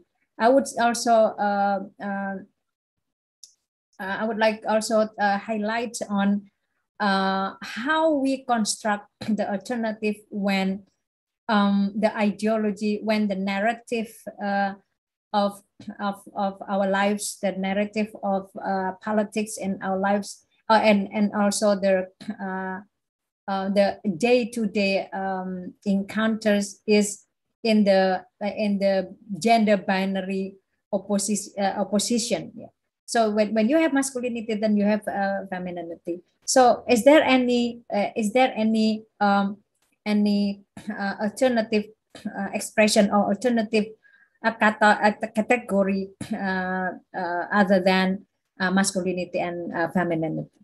So that is actually also my question. I think in in uh, in non-Western world like Indonesia, India, and also uh, in the Middle East. Uh, I'm not sure about Middle East because uh, because uh, structurally the, the language, I mean Arabic language is actually closed uh, to the Western language, but non non-Western like Indonesia, then India might have a different understandings of categorizations uh, uh, on on mas- uh, masculine and feminine, because um, the uh, the ultimate uh, or the uh, the the refined person in in the in the culture, uh, uh, particular, uh, oh, sorry, uh, for example, in Japanese culture is in in somehow different from what we learn from the narrative of masculinity in the West. So, so the figure of the re refined man in uh, is actually uh, maybe feminine. So that is actually the things that we have to uh, also take into account as whether we will uh, use um, the quote unquote the Western narrative of masculine and feminine, or maybe uh, we, we could have some uh, alternatives from of, from other culture. Sachiko Murata, for example, um, um, uh, enlightened us about yin and yang. So, so, and uh, the Tao of, uh, in the Tao of Islam, for example, um, she mentioned about uh, um, uh, positive, uh, positive, positive character. The positive, the, the positive character is um, closely related to how the nurturing and the uh, the caring, the caring of the nature, the caring of humanity uh, is actually the um, the the the the, the, the refined uh, character of uh, of human. So that is uh, that is also the the alternative that we might also insert in our discussion about uh, uh, masculinity. So this is actually uh, my response to uh, Boim and also Laxman.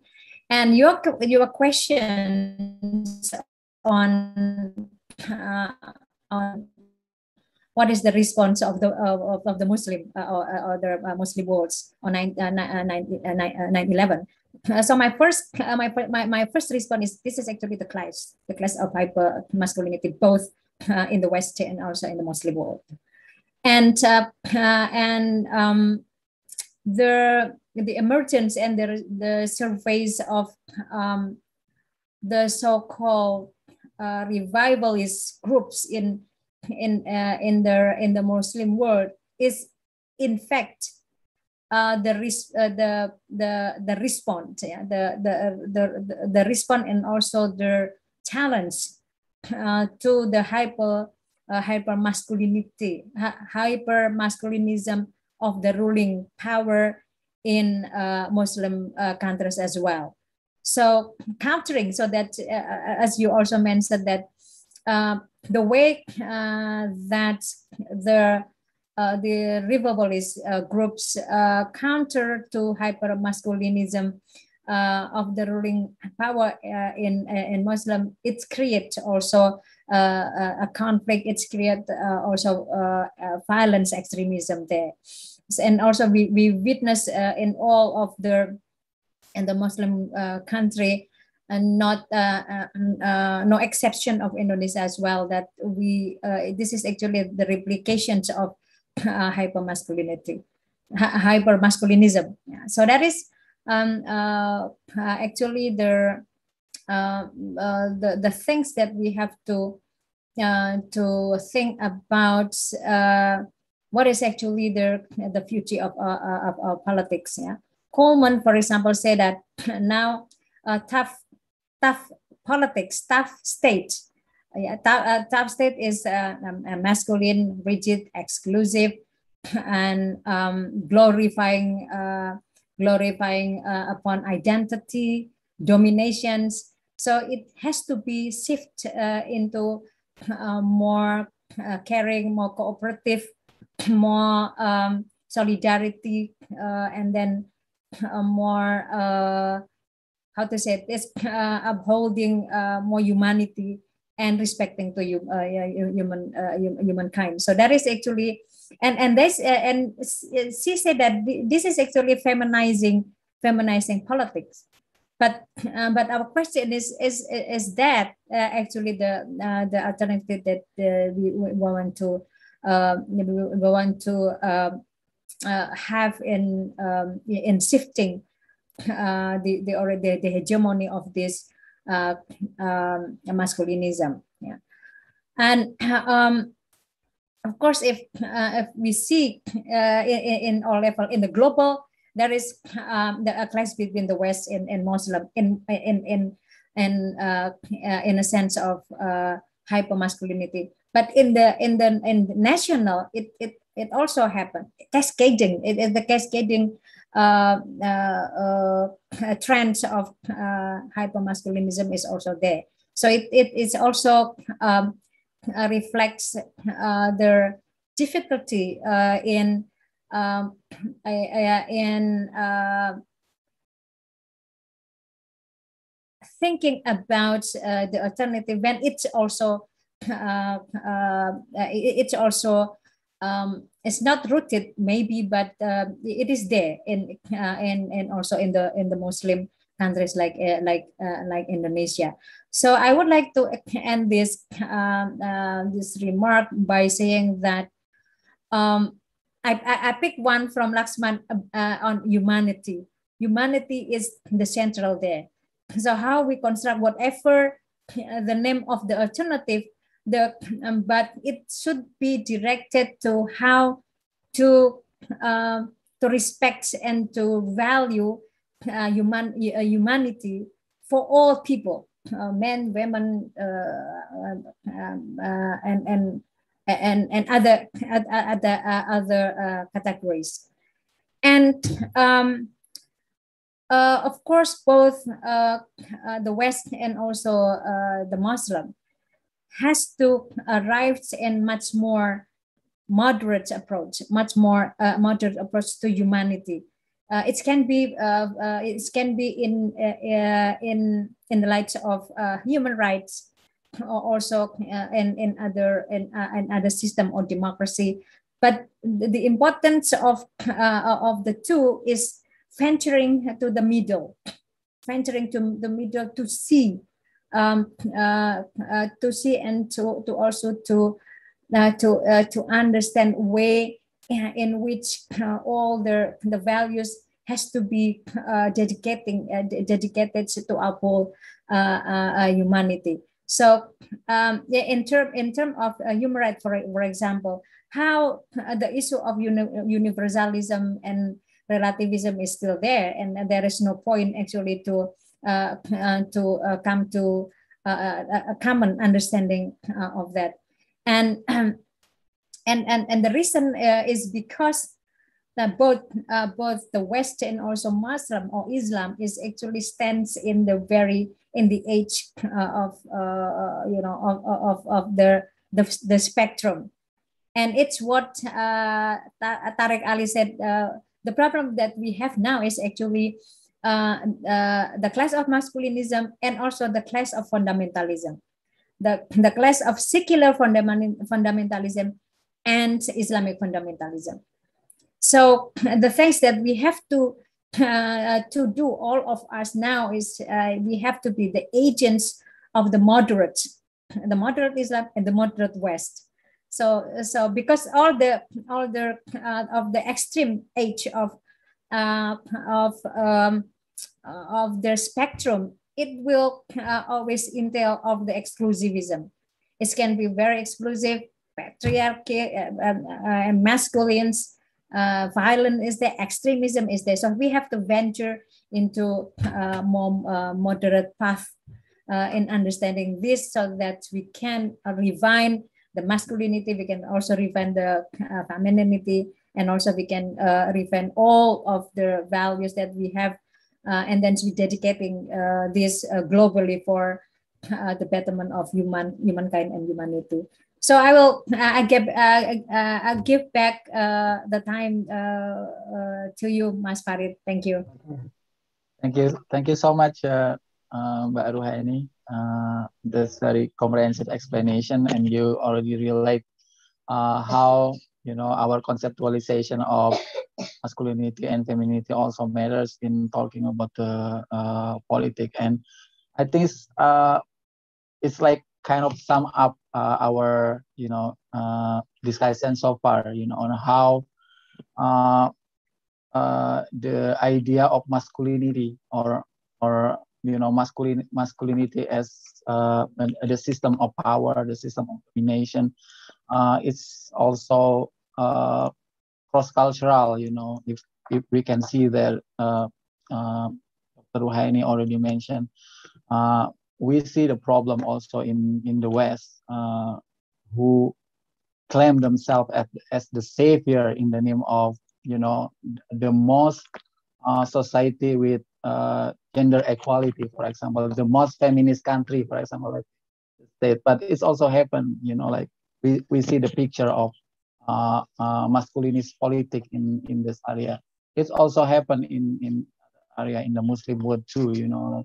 That's why to categorize you know who the savior and who the enemy here is also uh, need to be very critical right?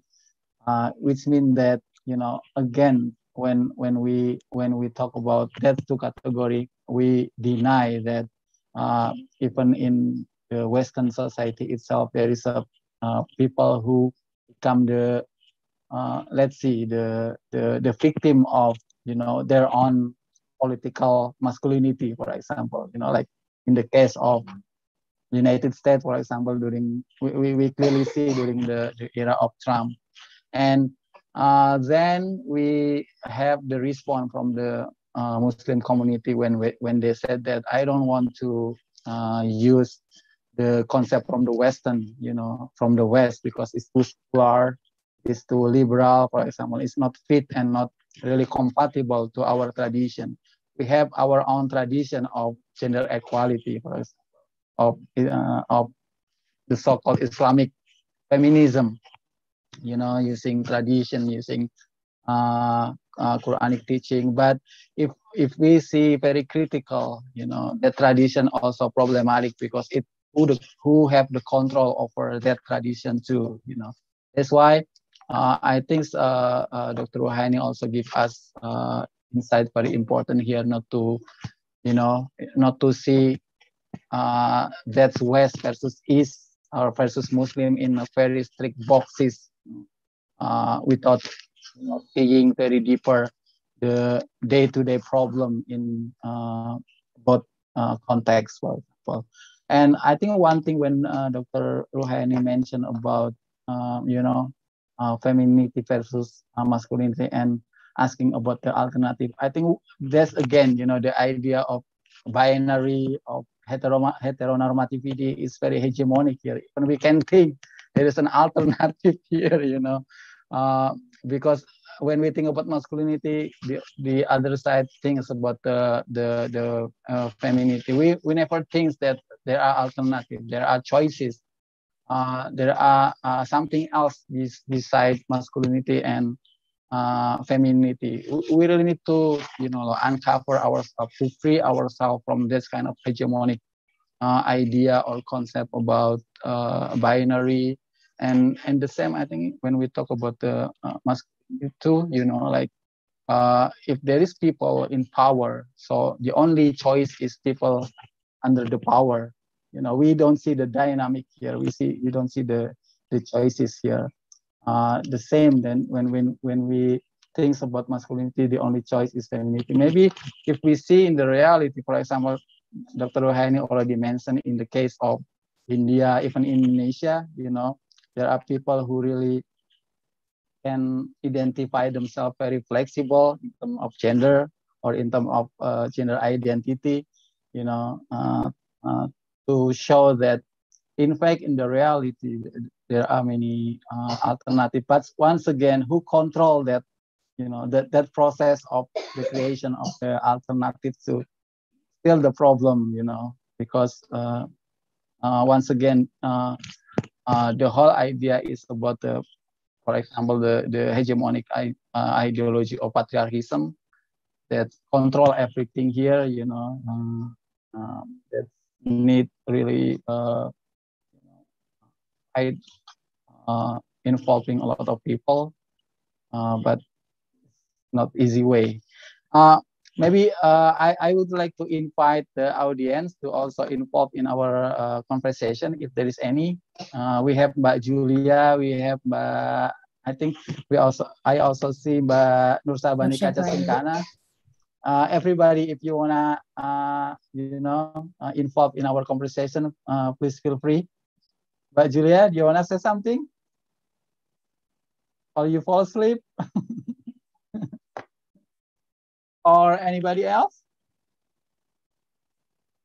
Yeah, uh, uh, if not, let's just continue maybe, you know, like the, uh, we, we talk a lot about the West, but we uh, we also need to talk about ourselves, you know, like like uh, uh, Mbak Ruhaini already mentioned about the problem in uh, in the Muslim world itself, you know, in the Muslim community itself, which is related to the uh, fundamentalism, you know, uh, the religious fundamentalism, which need to be countered with the so-called uh, Islam wasatiyah or moderate Islam or more tolerant Islam here. And we see, you know, like uh, the, the fundamentalist group also use the idea or the concept of gender uh, women's rights and also uh, being perfect man, for example. Maybe later we, we also can ask the phenomena like in Indonesia.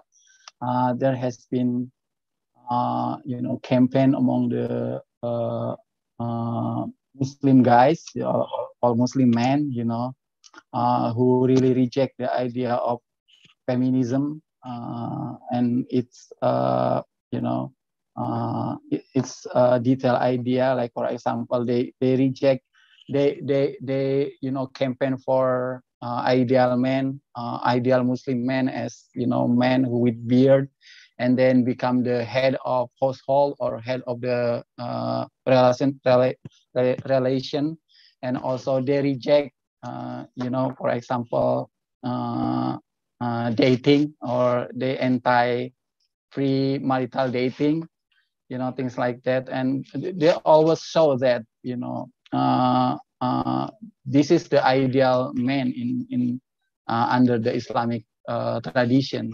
And uh, do you know it looks simple right? You know like in daily life we can see uh, like the celebrity figure for example campaigning about how being hijrah how being a good muslim.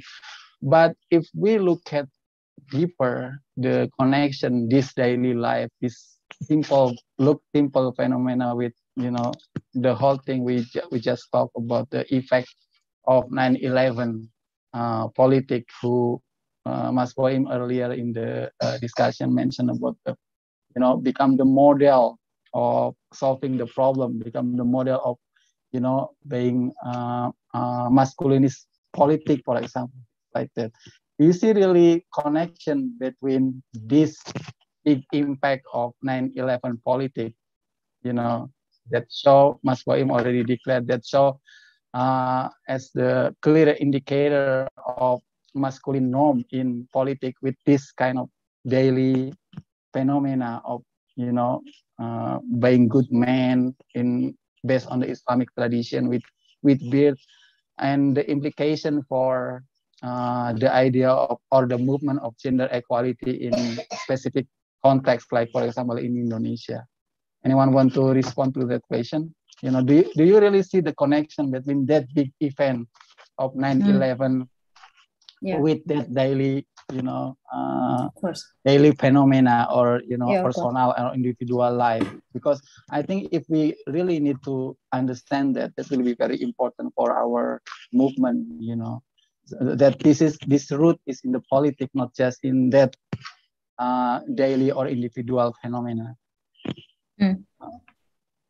Mas Boim or Mbak Ruhaini or anybody else feel free uh, okay, uh, Mas Mas yeah. uh, Mas Farid. Yeah, um, so yeah. um, I think uh, it it it started yeah it started before 9-11, I think, uh, or mm-hmm. um, that um, masculinism uh, actually uh, dominating Western uh, uh politics. Uh, we we can learn how um, I mean like the West, the the U.S. Uh, they they they made their business in the Middle East, for example. The issue the issue of Israel and Palestine. Yeah, so that is actually uh, long before 9/11, uh, and as I said earlier, that 9/11 is actually the picture of this uh, hyper and ugly uh, masculinism. Yeah. Mm-hmm and it's uh, then uh, co- uh, continue to the invasion yeah invasion of um, or some uh, the, the invasion of afghanistan and before um, uh, iraq and also um, uh, libya i think so what is the point of, of the us a, a unilateral um, I mean, invasions to Iraq and also to Libya so that is actually um, it creates um, anti-Western. It mm-hmm. creates anti-US and and um, uh, the uh, the consequences of uh, of this uh, aftermath and the response uh, of the Muslim uh, is actually fighting back um, this ugly invasion yeah, with uh, with the with the same manner. So it, it's actually the, um, uh, um, uh, the the times that we witness the vast um, uh, reservation, uh, militant groups reservation of um, of uh, what uh, now we uh, we recognize them as the Salafist group. And when it's come to the the Salah, the Salafist group and it's come to the Islamist groups, yeah, so uh, so they will adopt um, their conservative Islam. They will also uh, adopt the fundamentalist uh, uh Islam, which um, um, uh, in the center is actually to um, to reclaim uh, the, the identity of being distinctive Muslim, distinctive Islam. And what is uh, what then? So following this uh, this claim is actually um, accumulating uh, all the differences, accumulating the distinctiveness uh, between Islam and the rest of the world, and also distinctiveness uh, with the West.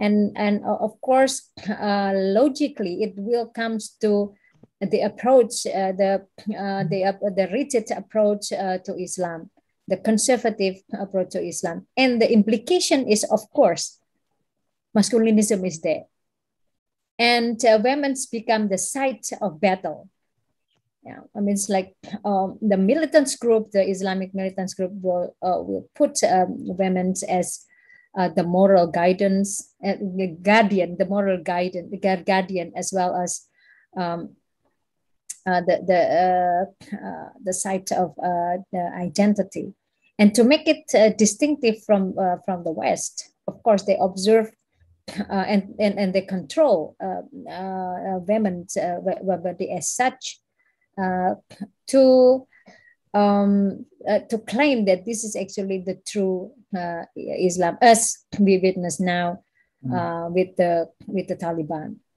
So um, what, what's happening in, in Afghanistan, even though I involved uh, in the uh, in uh, in the project called in the uh, Afghan Indonesia uh, Solidarity Network, and we um, invited uh, all the components of um, of the ruling groups in, in Afghanistan, including the Taliban, into Indonesia, and we are talking about the future uh, the future of, uh, of Afghanistan being um, a moderate, uh, being a modern um, Muslim country, and and also there um, we talk about we talk about um, what is actually uh, uh, what is the proper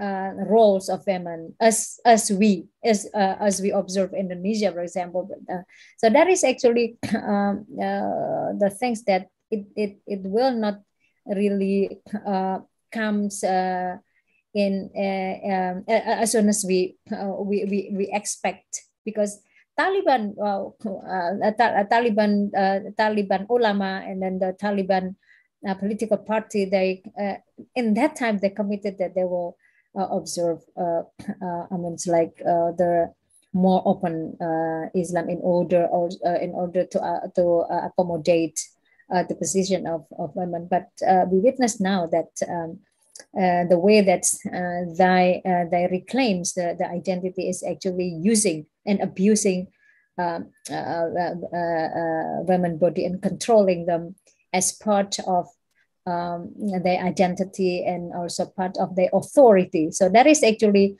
uh, the thing that we have to work out uh, in our own society. And what happens in, in Taliban uh, will also um, um, um, um become uh, kind of uh, uh, the, the the new hope also for for other for, the, for other group to to follow and this is and we have to take this very seriously because um, the uh, the coming back of Taliban and also the uh, the revivals of the, the militant in Indonesia, it will uh, substantially, it will uh, uh, affect the way that we uh, promote and the way that we advocate for women's rights and also gender equality that, that we are now very proud of.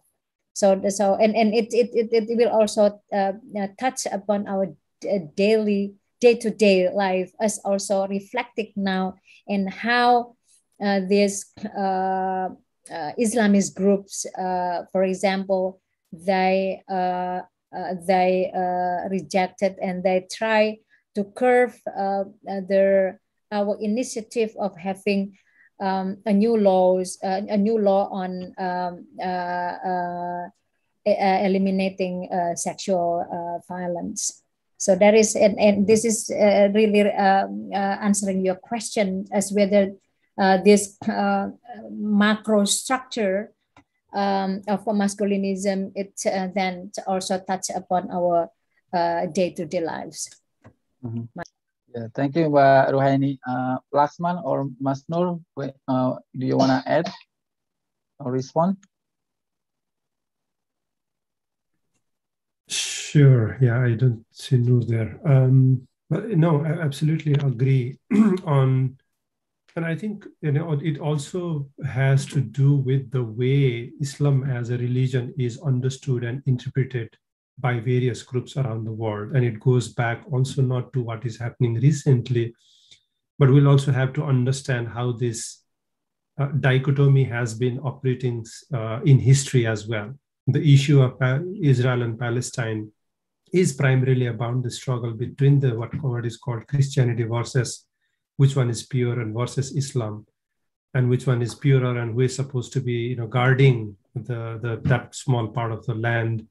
And also in case of the whole uh, in, in Afghanistan, for example, if you look at 70s, you know people wouldn't have uh, you know weren't you wearing uh, the dresses that we see these days. It was more open and you know women were more free to go to universities if you look at the whole history of middle east the first global university for women was created in in middle east so we have to really understand how certain groups created a dominance and and started in you know reinforcing a certain particular one way narrative of what other groups are and how that created the whole othering system and hence the enemy system because of how the certain ideals were assumed or to be superior than the rest in the global south so that also has to do with the whole uh, colonization that used to happen much way before and how that was created so the whole creation of India, Pakistan, Bangladesh was based simply on the religion. And that was not that people in those part of the world you know, realized or created that, but it was created by someone else, right? And the irony of that is that we who are in this land and or in this part of the world don't realize what others did on us, but then rather followed the same principle. And that to say that is at the global political order.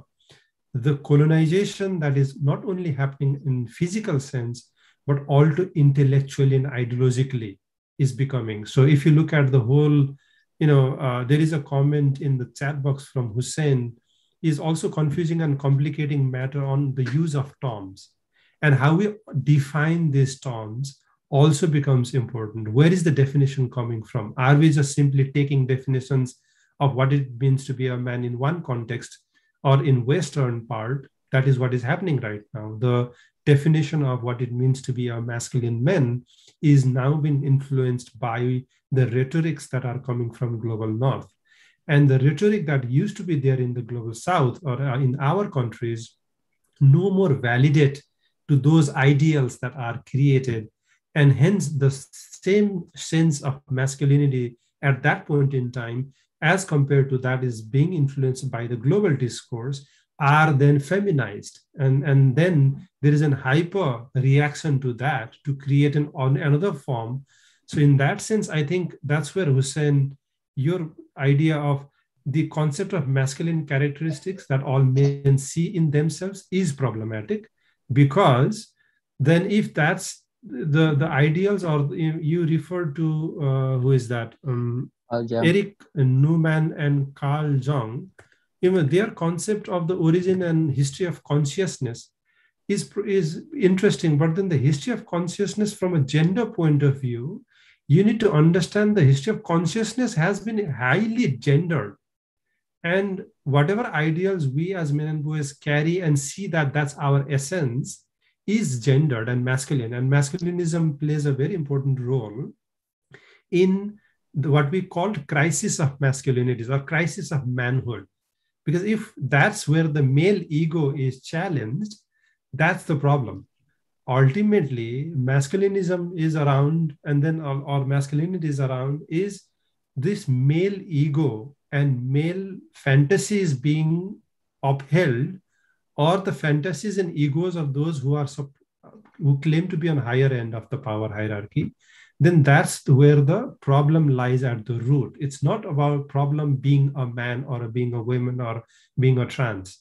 The problem is what gets enact attached to those bodies and expected from the society as an enactment in the power structure is problematic. And hence the sense, the sense that we have as what constitutes as I am a man is problematic from that sense. And that's where I think the issue of also looking at Muslim or Islam or groups or non Christians in the global political order right now at the given situation, non Christians as a homogeneous enemy group is problematic.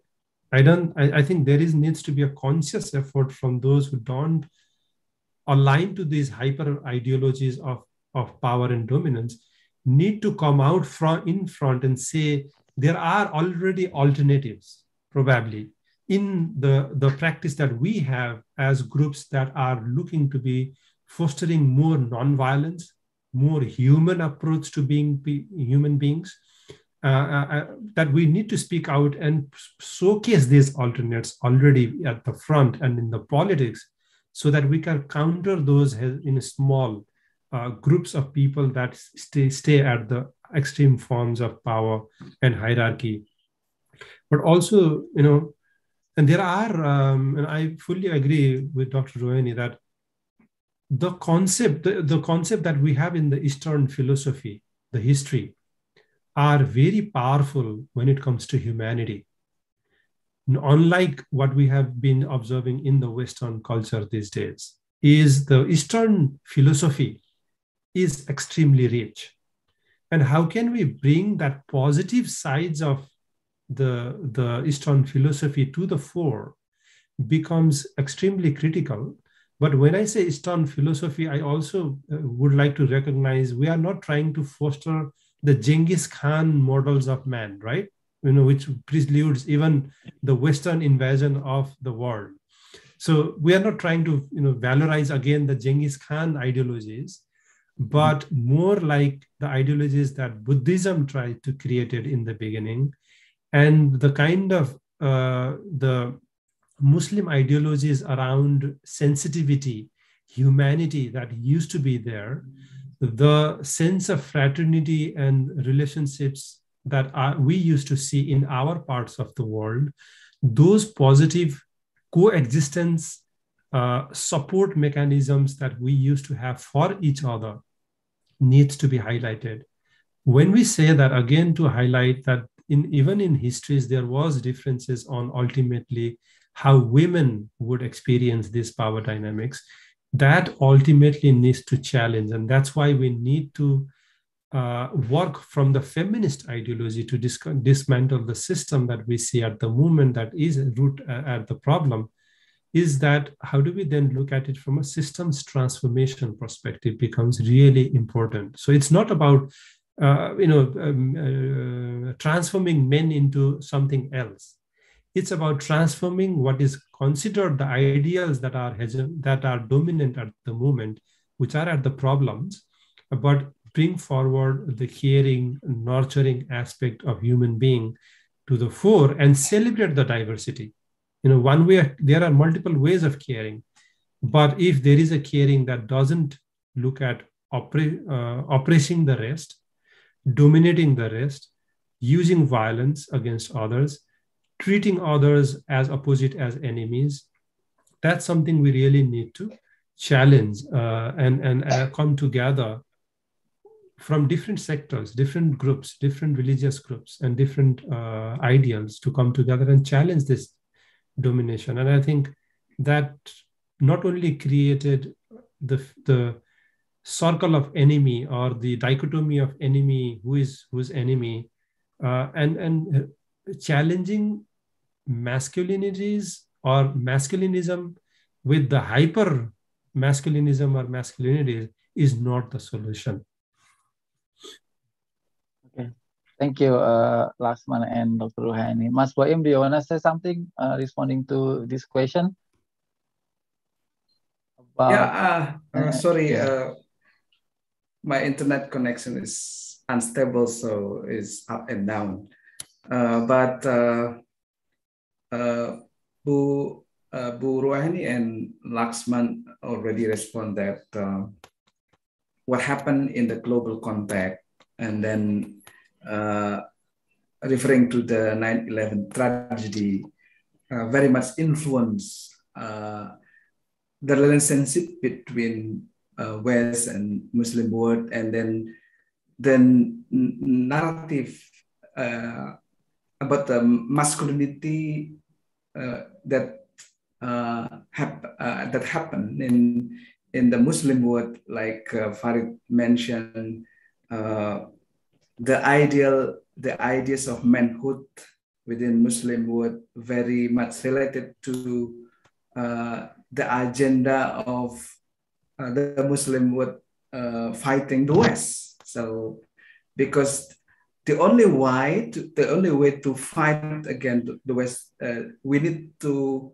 have a strong man, the dominant man, and superior man, so that I think uh, uh, part of uh, I think the the ideal uh, or the concept of manhood that now uh, created by the Muslim world is part of that. Uh, and then um, I would like to respond about uh, how to to uh, to transform this kind of situation because in Muslim, whether in Muslim world or in the West, they are similar in sustaining and uh, maintaining the ideas of uh, hegemonic uh, masculinity. Uh, so, uh, according to me, uh, to transform this kind of situations, it is important to to always offer an alternative ideas of manhood for our uh, future generations. I think uh, that is the challenge. Um, probably mentioned that uh, uh, fundamentalist group is also using social media in introducing the ideas of manhood according to them. Uh, and at the same time, uh, when they promote the ideal of uh, ideal manhood uh, that characterized by domination, superiority, physical strength, and so on and so forth. And at the same time, they're also promoting uh, ideas of femininity that characterized by uh, uh, submissive and so on and so forth. And then uh, they are discriminated, they are domesticated, and so on and so forth. So uh, according to me, it is important to uh, always uh, uh, challenge these ideas by giving an alternative model of manhood and alternative model of being uh, being a woman. And I think uh, humanity should be become main main reference for both men and women. I think that is my comment. Right. Sorry for the internet connection yeah. because there's uh, mm-hmm. up and down. Understand. Yeah, probably. Uh, yeah, yeah. Thank you, Dr. Ruhaini, Laxman, and uh, Mas Boim. Uh, later, I would like to invite Hussein himself to talk because Hussein is a refugee from Afghanistan.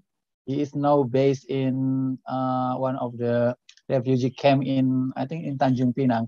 I think it, it, will be very interesting to you know share his experience about how you know the 9/11 politics really give impact to uh, men like uh, like uh, Hussein uh, with his experience of refugee. Of course, the experience of being refugee is not just personal or individual or daily uh, experience, but it's also you know related to the uh, global political dynamic. Uh, but before before I invite Hussein, I would like to highlight a little bit about uh, you know uh, the whole idea we talked about uh, from uh, Dr. Ruhaini and then from Laxman and from Mas Boim is how masculinity become very important uh, framework to see the complexity of global political structure here, right? From the idea of colonization, it in fact, you know, like the the uh, Orientalist uh, uh, Edward Said, for example, really clearly mentioned that uh, West always see the others, especially the the Orient, those who in the West as the you know like the feminine who who uh, need to be dominated by the West as the uh, masculine entity, for example. That's that's really clear in in the rhetoric of uh, the uh, political leaders and the media itself, especially the popular media who don't really know the complexity of uh, uh political context in the West, you know, or in the in the East, uh, as very dynamic and very plural. They always see uh, the East as homogeneous or as singular, you know, is everything is not dynamic, for example, things like that. And uh, as I said in the in the introduction, there is the idea of saving the the Muslim women from the Muslim men, for example, you know, because there is an operation based on gender uh, hierarchy, etc., things like that. So once again, we see how uh, uh, masculinity becomes very important uh, framework to see the complexity of global political structure here from the idea of colonization and neo-colonization into the even the daily life as Mas Boim mentioned.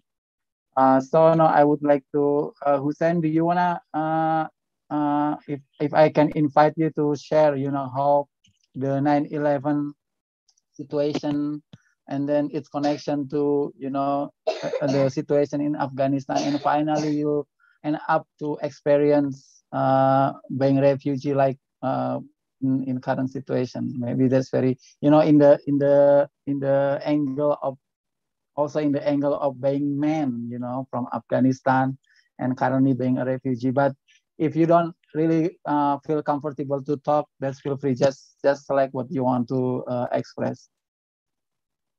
Please uh hussein. Okay. Uh, first of all thank you farid for inviting me and it is quite uh, an honor to be here.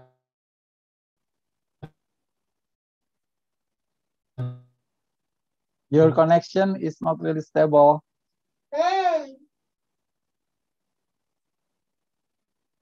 Yeah, he's living. He, he lived in. Uh, hello, Hussein. Maybe you don't need to use the you don't, you don't need your camera on. And I feel conscious here because uh, in presence of all.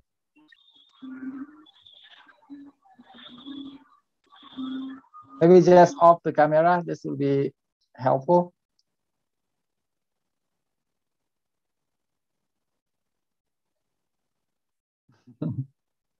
yeah, sorry about that. Even Mas Boim on counter the problem with the internet.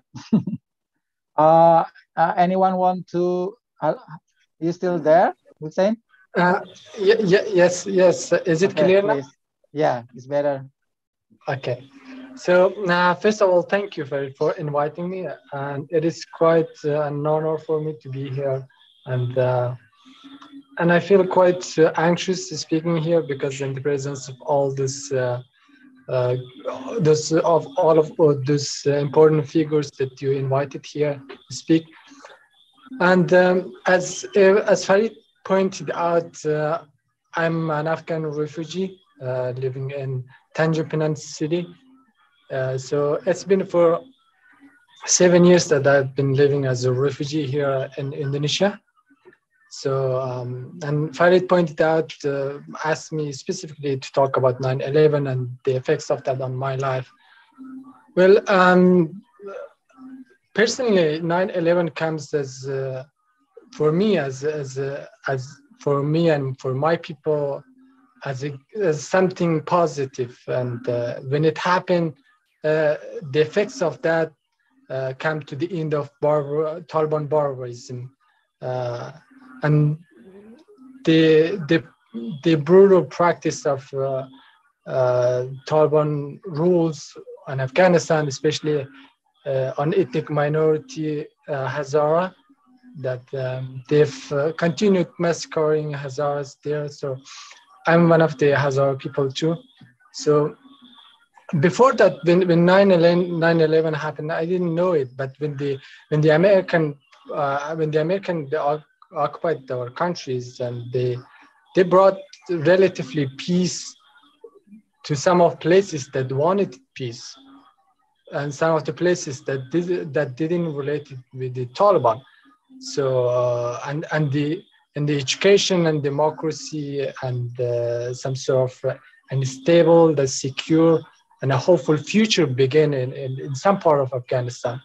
So and the area that I was living, it is in a small area, but it was uh, one of those areas that is uh, is deep, that is deeply um, gain uh, advanced in educations and uh, other form of democracy, kind of uh, uh, modern development improvement.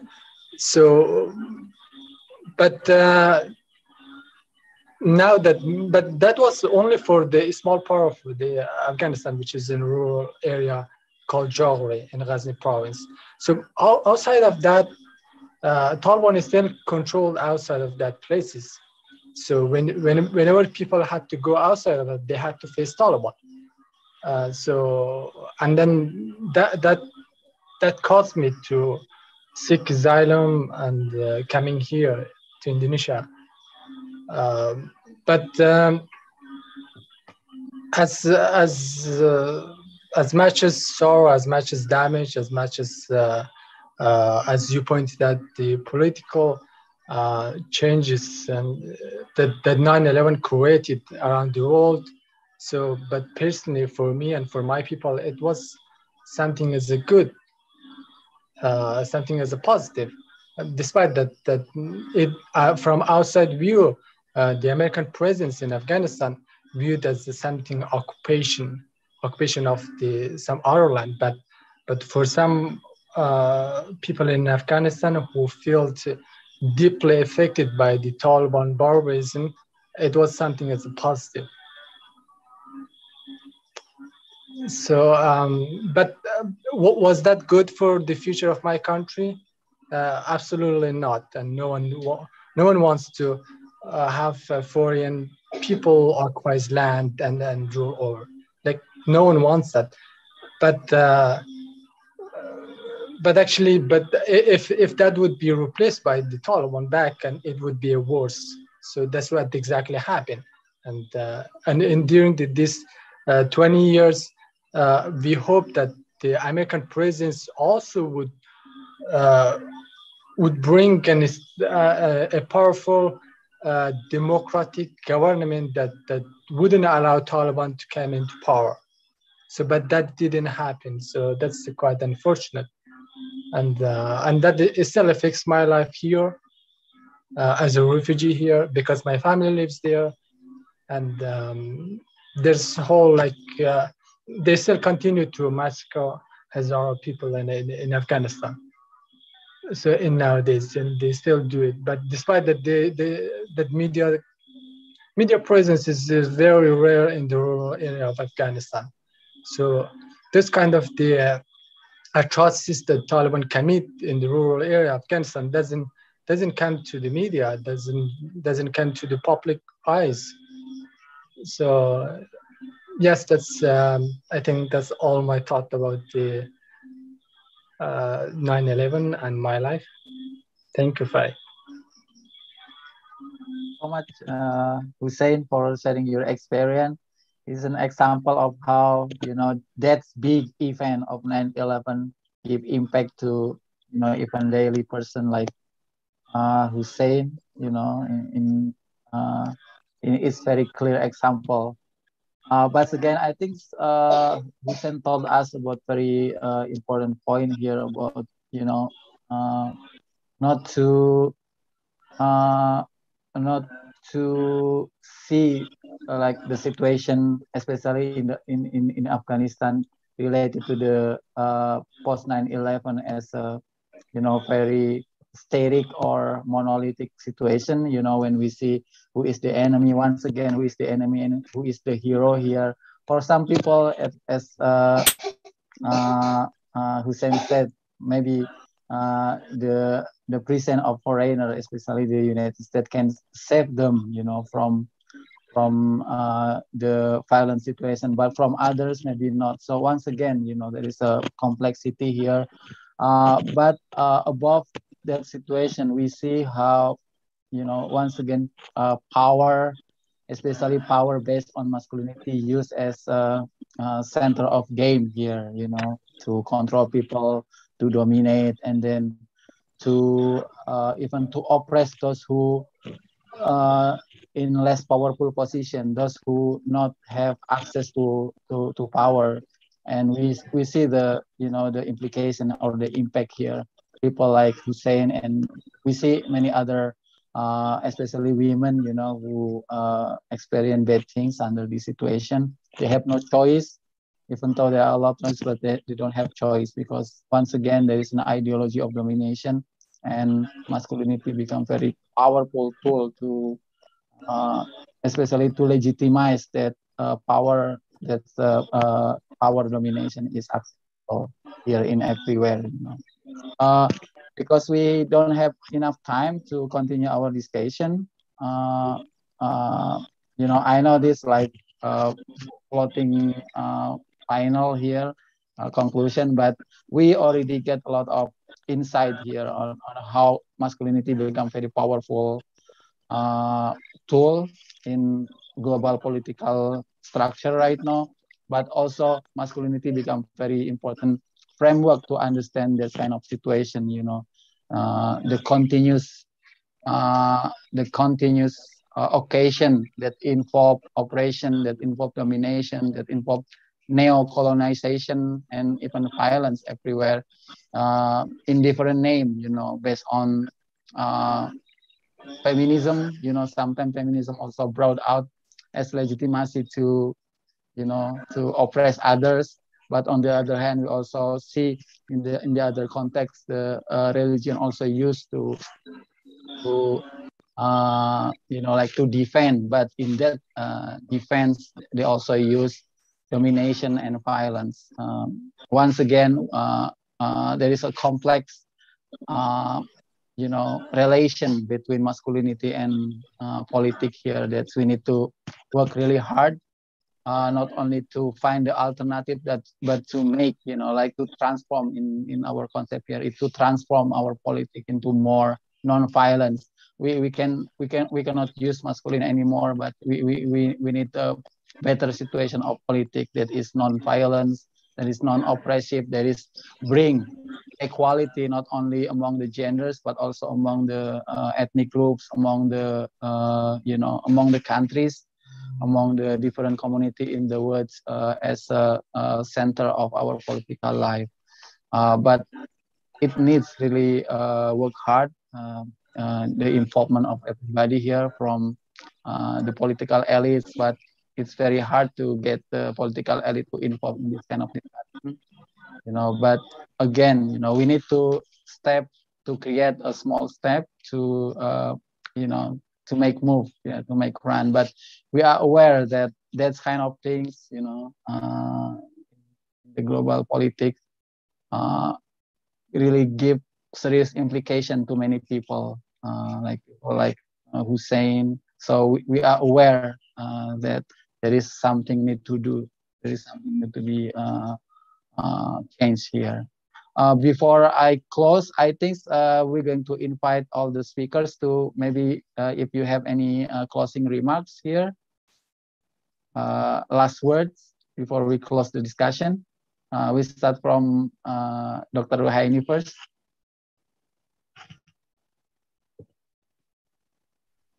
Uh, yeah, uh, Mas Farid, I think um, your offer uh, is quite uh, valid.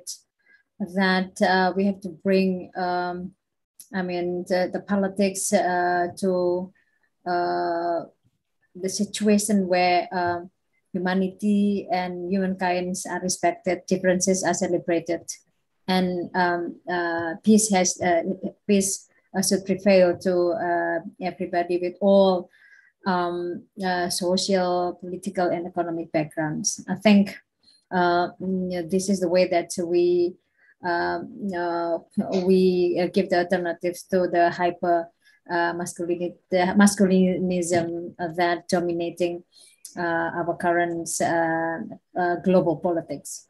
Thank you. Thank you, Rani. next, uh, last one, your closing word. Uh, my closing word is um, yeah, not, you know, first is thank you for bearing with us um, and and listening to our thoughts. Um, and uh, this is, I think, the beginning of conversation that where we do need to dig more deeper into how masculinities as a lens can help us understand how the global politics is shaping right now but not only at the global politics, but also the politics within our own states and nations. Uh, well, you know, even in Indonesia, but also looking at what is happening in Brazil with Bolsonaro, uh, what is happening in India with Modi, you know, uh, what is happening with, uh, you know, other, um, uh, you know, in, in, in Poland, for example, in Europe, with the whole rhetoric that is being created around the term fundamentalism that automatically gets connected with Islam but you know ignoring the fact the same fundamentalism do exist in christianity in hinduism in buddhism and the roots of all of these fundamentalisms is around the same uh, sense of masculinity sense of power sense of so i think we do need to unpack more in order to really meaningfully challenge the global order right now you know, all, you know, at all levels. So I would, you know, this will require all of us who work on feminisms, uh, masculinities, women's rights, b- women's bodily autonomy, and all to come, or feminist peace and environmental justice to really come together with the, because the enemy that we always refer to is the same, which is the patriarchy and the masculine or masculinism as an ideology. Uh, so yeah, I would urge all of us to continue and come together, join hands uh, to provide alternates to what we are observing and the problems we see. Thank you so much, Laxman. Next, uh, last but not least, Mas Boim. Thank you, Farid, and everyone who joining this this discussion this uh, today. Um, I think uh, creating space to discuss about masculinity is, for me, is very important because that is the first step on how to transforming it. So, because uh, uh, before the, the, the issue of masculinity is hidden, and then uh, it is important to bring it on the table and discuss it, and then after that we need to transform it. And then uh, I think the discussion uh, today is really in uh, give us an, an ideas that uh, our global order very much influenced or in other terms shaped by the masculinity norms. And this global order uh, have a big influence in our local order and even in our relationship. So yes, of course, there are a lot of homework to do to transform this very systematic and very uh, a strong uh, system uh, of the masculinity, uh, mas uh, patriarchal masculinity or uh, masculinism, or in among the millennial, we call it as toxic masculinity. So I think that is this is a, a good uh, step to uh, discuss further about this about the, this topic and then uh, transform it uh, and then also finding uh, an alternative way to live in our world. Thank you, Farid. Thank you so much. Uh, I really appreciate Laxman, Dr. Siti and Mas Boim for your very important part participation and contribution. Uh, we have we are in the same boat, you know, while we, we, we agree that masculinity is very important framework to understand, you know, our uh, current politics. Uh, to some extent, especially in the context of Indonesia, we still see uh, people, uh, including in uh, among the feminist group, that rarely talk about this, especially when we talk about masculinity and its relationship or correlation with the uh, politics. So I think let's uh, let's put in our agenda. We're going to talk, uh, you know, more specifically about Indonesia maybe, but uh, Laxman can present anytime. You know, you you are very helpful here. Uh, thank you so much uh, once again. I really appreciate your contribution also to uh, our uh, interpreters. Uh, uh, Mine and uh, Kaka, thank you so much for helping us. And to the all audience, thank you so much for your participation and contribution. As uh, Mas Boim, Laxman, and uh, Dr. Ruhaini said earlier that this is just beginning. So we need to continue talking about this in more uh, discussion. Uh, let's see, you know, if you, you have any idea about uh, the discussion topic, just let me know. We, we can facilitate. Uh, LETSS Talk is very open uh, forum. We can facilitate all any discussion, both in English or in uh, Bahasa Indonesia. Once again, thank you so much. Before I close, there are two uh, announcements. Uh, the uh, coming uh, event, uh, we're going to have a talk show in Bahasa Indonesia under the title is Media, Keadilan Gender, and Keragaman Seksual. We are inviting Rosianna Silalahi from Kompas TV and then uh, Sonya Hellen from uh, Kompas newspaper and then Luviana from Konde.co uh, and then uh, Dr. Dina Listiorini, the researcher on sexuality and gender. And then one more is who else? And Nadia Irawati will be the mo- moderator. And the coming Saturday, we're going to have a live on Instagram. We're going to talk about the local uh, model of empowering uh, uh, female transnational domestic workers. Uh, you know, uh, we're going to dig the experience from Lombok, West Nusa Tenggara. So if you have time and interest in the topic, please join us. Uh, once again, thank you so much. I really appreciate. On behalf of LETSS Talk, I would like to last time again, thank you so much. Thank Thank you, Mas Farid. Thank you, care. Lasman. Ya, terima Thank you kasih. very much. Thank you. Lasman, thank you so much. Mas Boim. Thank Thank you, you. you. Mbak Ya. thank you so Mbak much. Nur, Bye. Mbak Nur Sabani, terima kasih. Mbak Julia mana ini? Mbak Julia videonya dong. I think she's falling asleep. Ya, Mbak, Mbak Nur Sabani, thank you so much. Dari tadi Rasman, thank you very much. Thank you- Thank you very much, Rasman, for Ya, Mbak- Mbak Nur, I'm sorry I didn't invite you to talk. Mbak Nur. Mbak Nur. Selamat malam, Mbak Nur. But if you wanna Malam talk semua. now, feel free. Oke, Bu, Mbak Eni, Farid, Yuk, Mbak yuk. Nur, Makasih, Mas Farid. Makasih banyak ya. yuk, sama-sama yuk. Ya, Makasih. makasih. Saya tutup ya. Ya, yuk. Pak Wiji, makasih. Assalamualaikum. Mbak Waalaikumsalam. Nur. makasih Mbak Nur.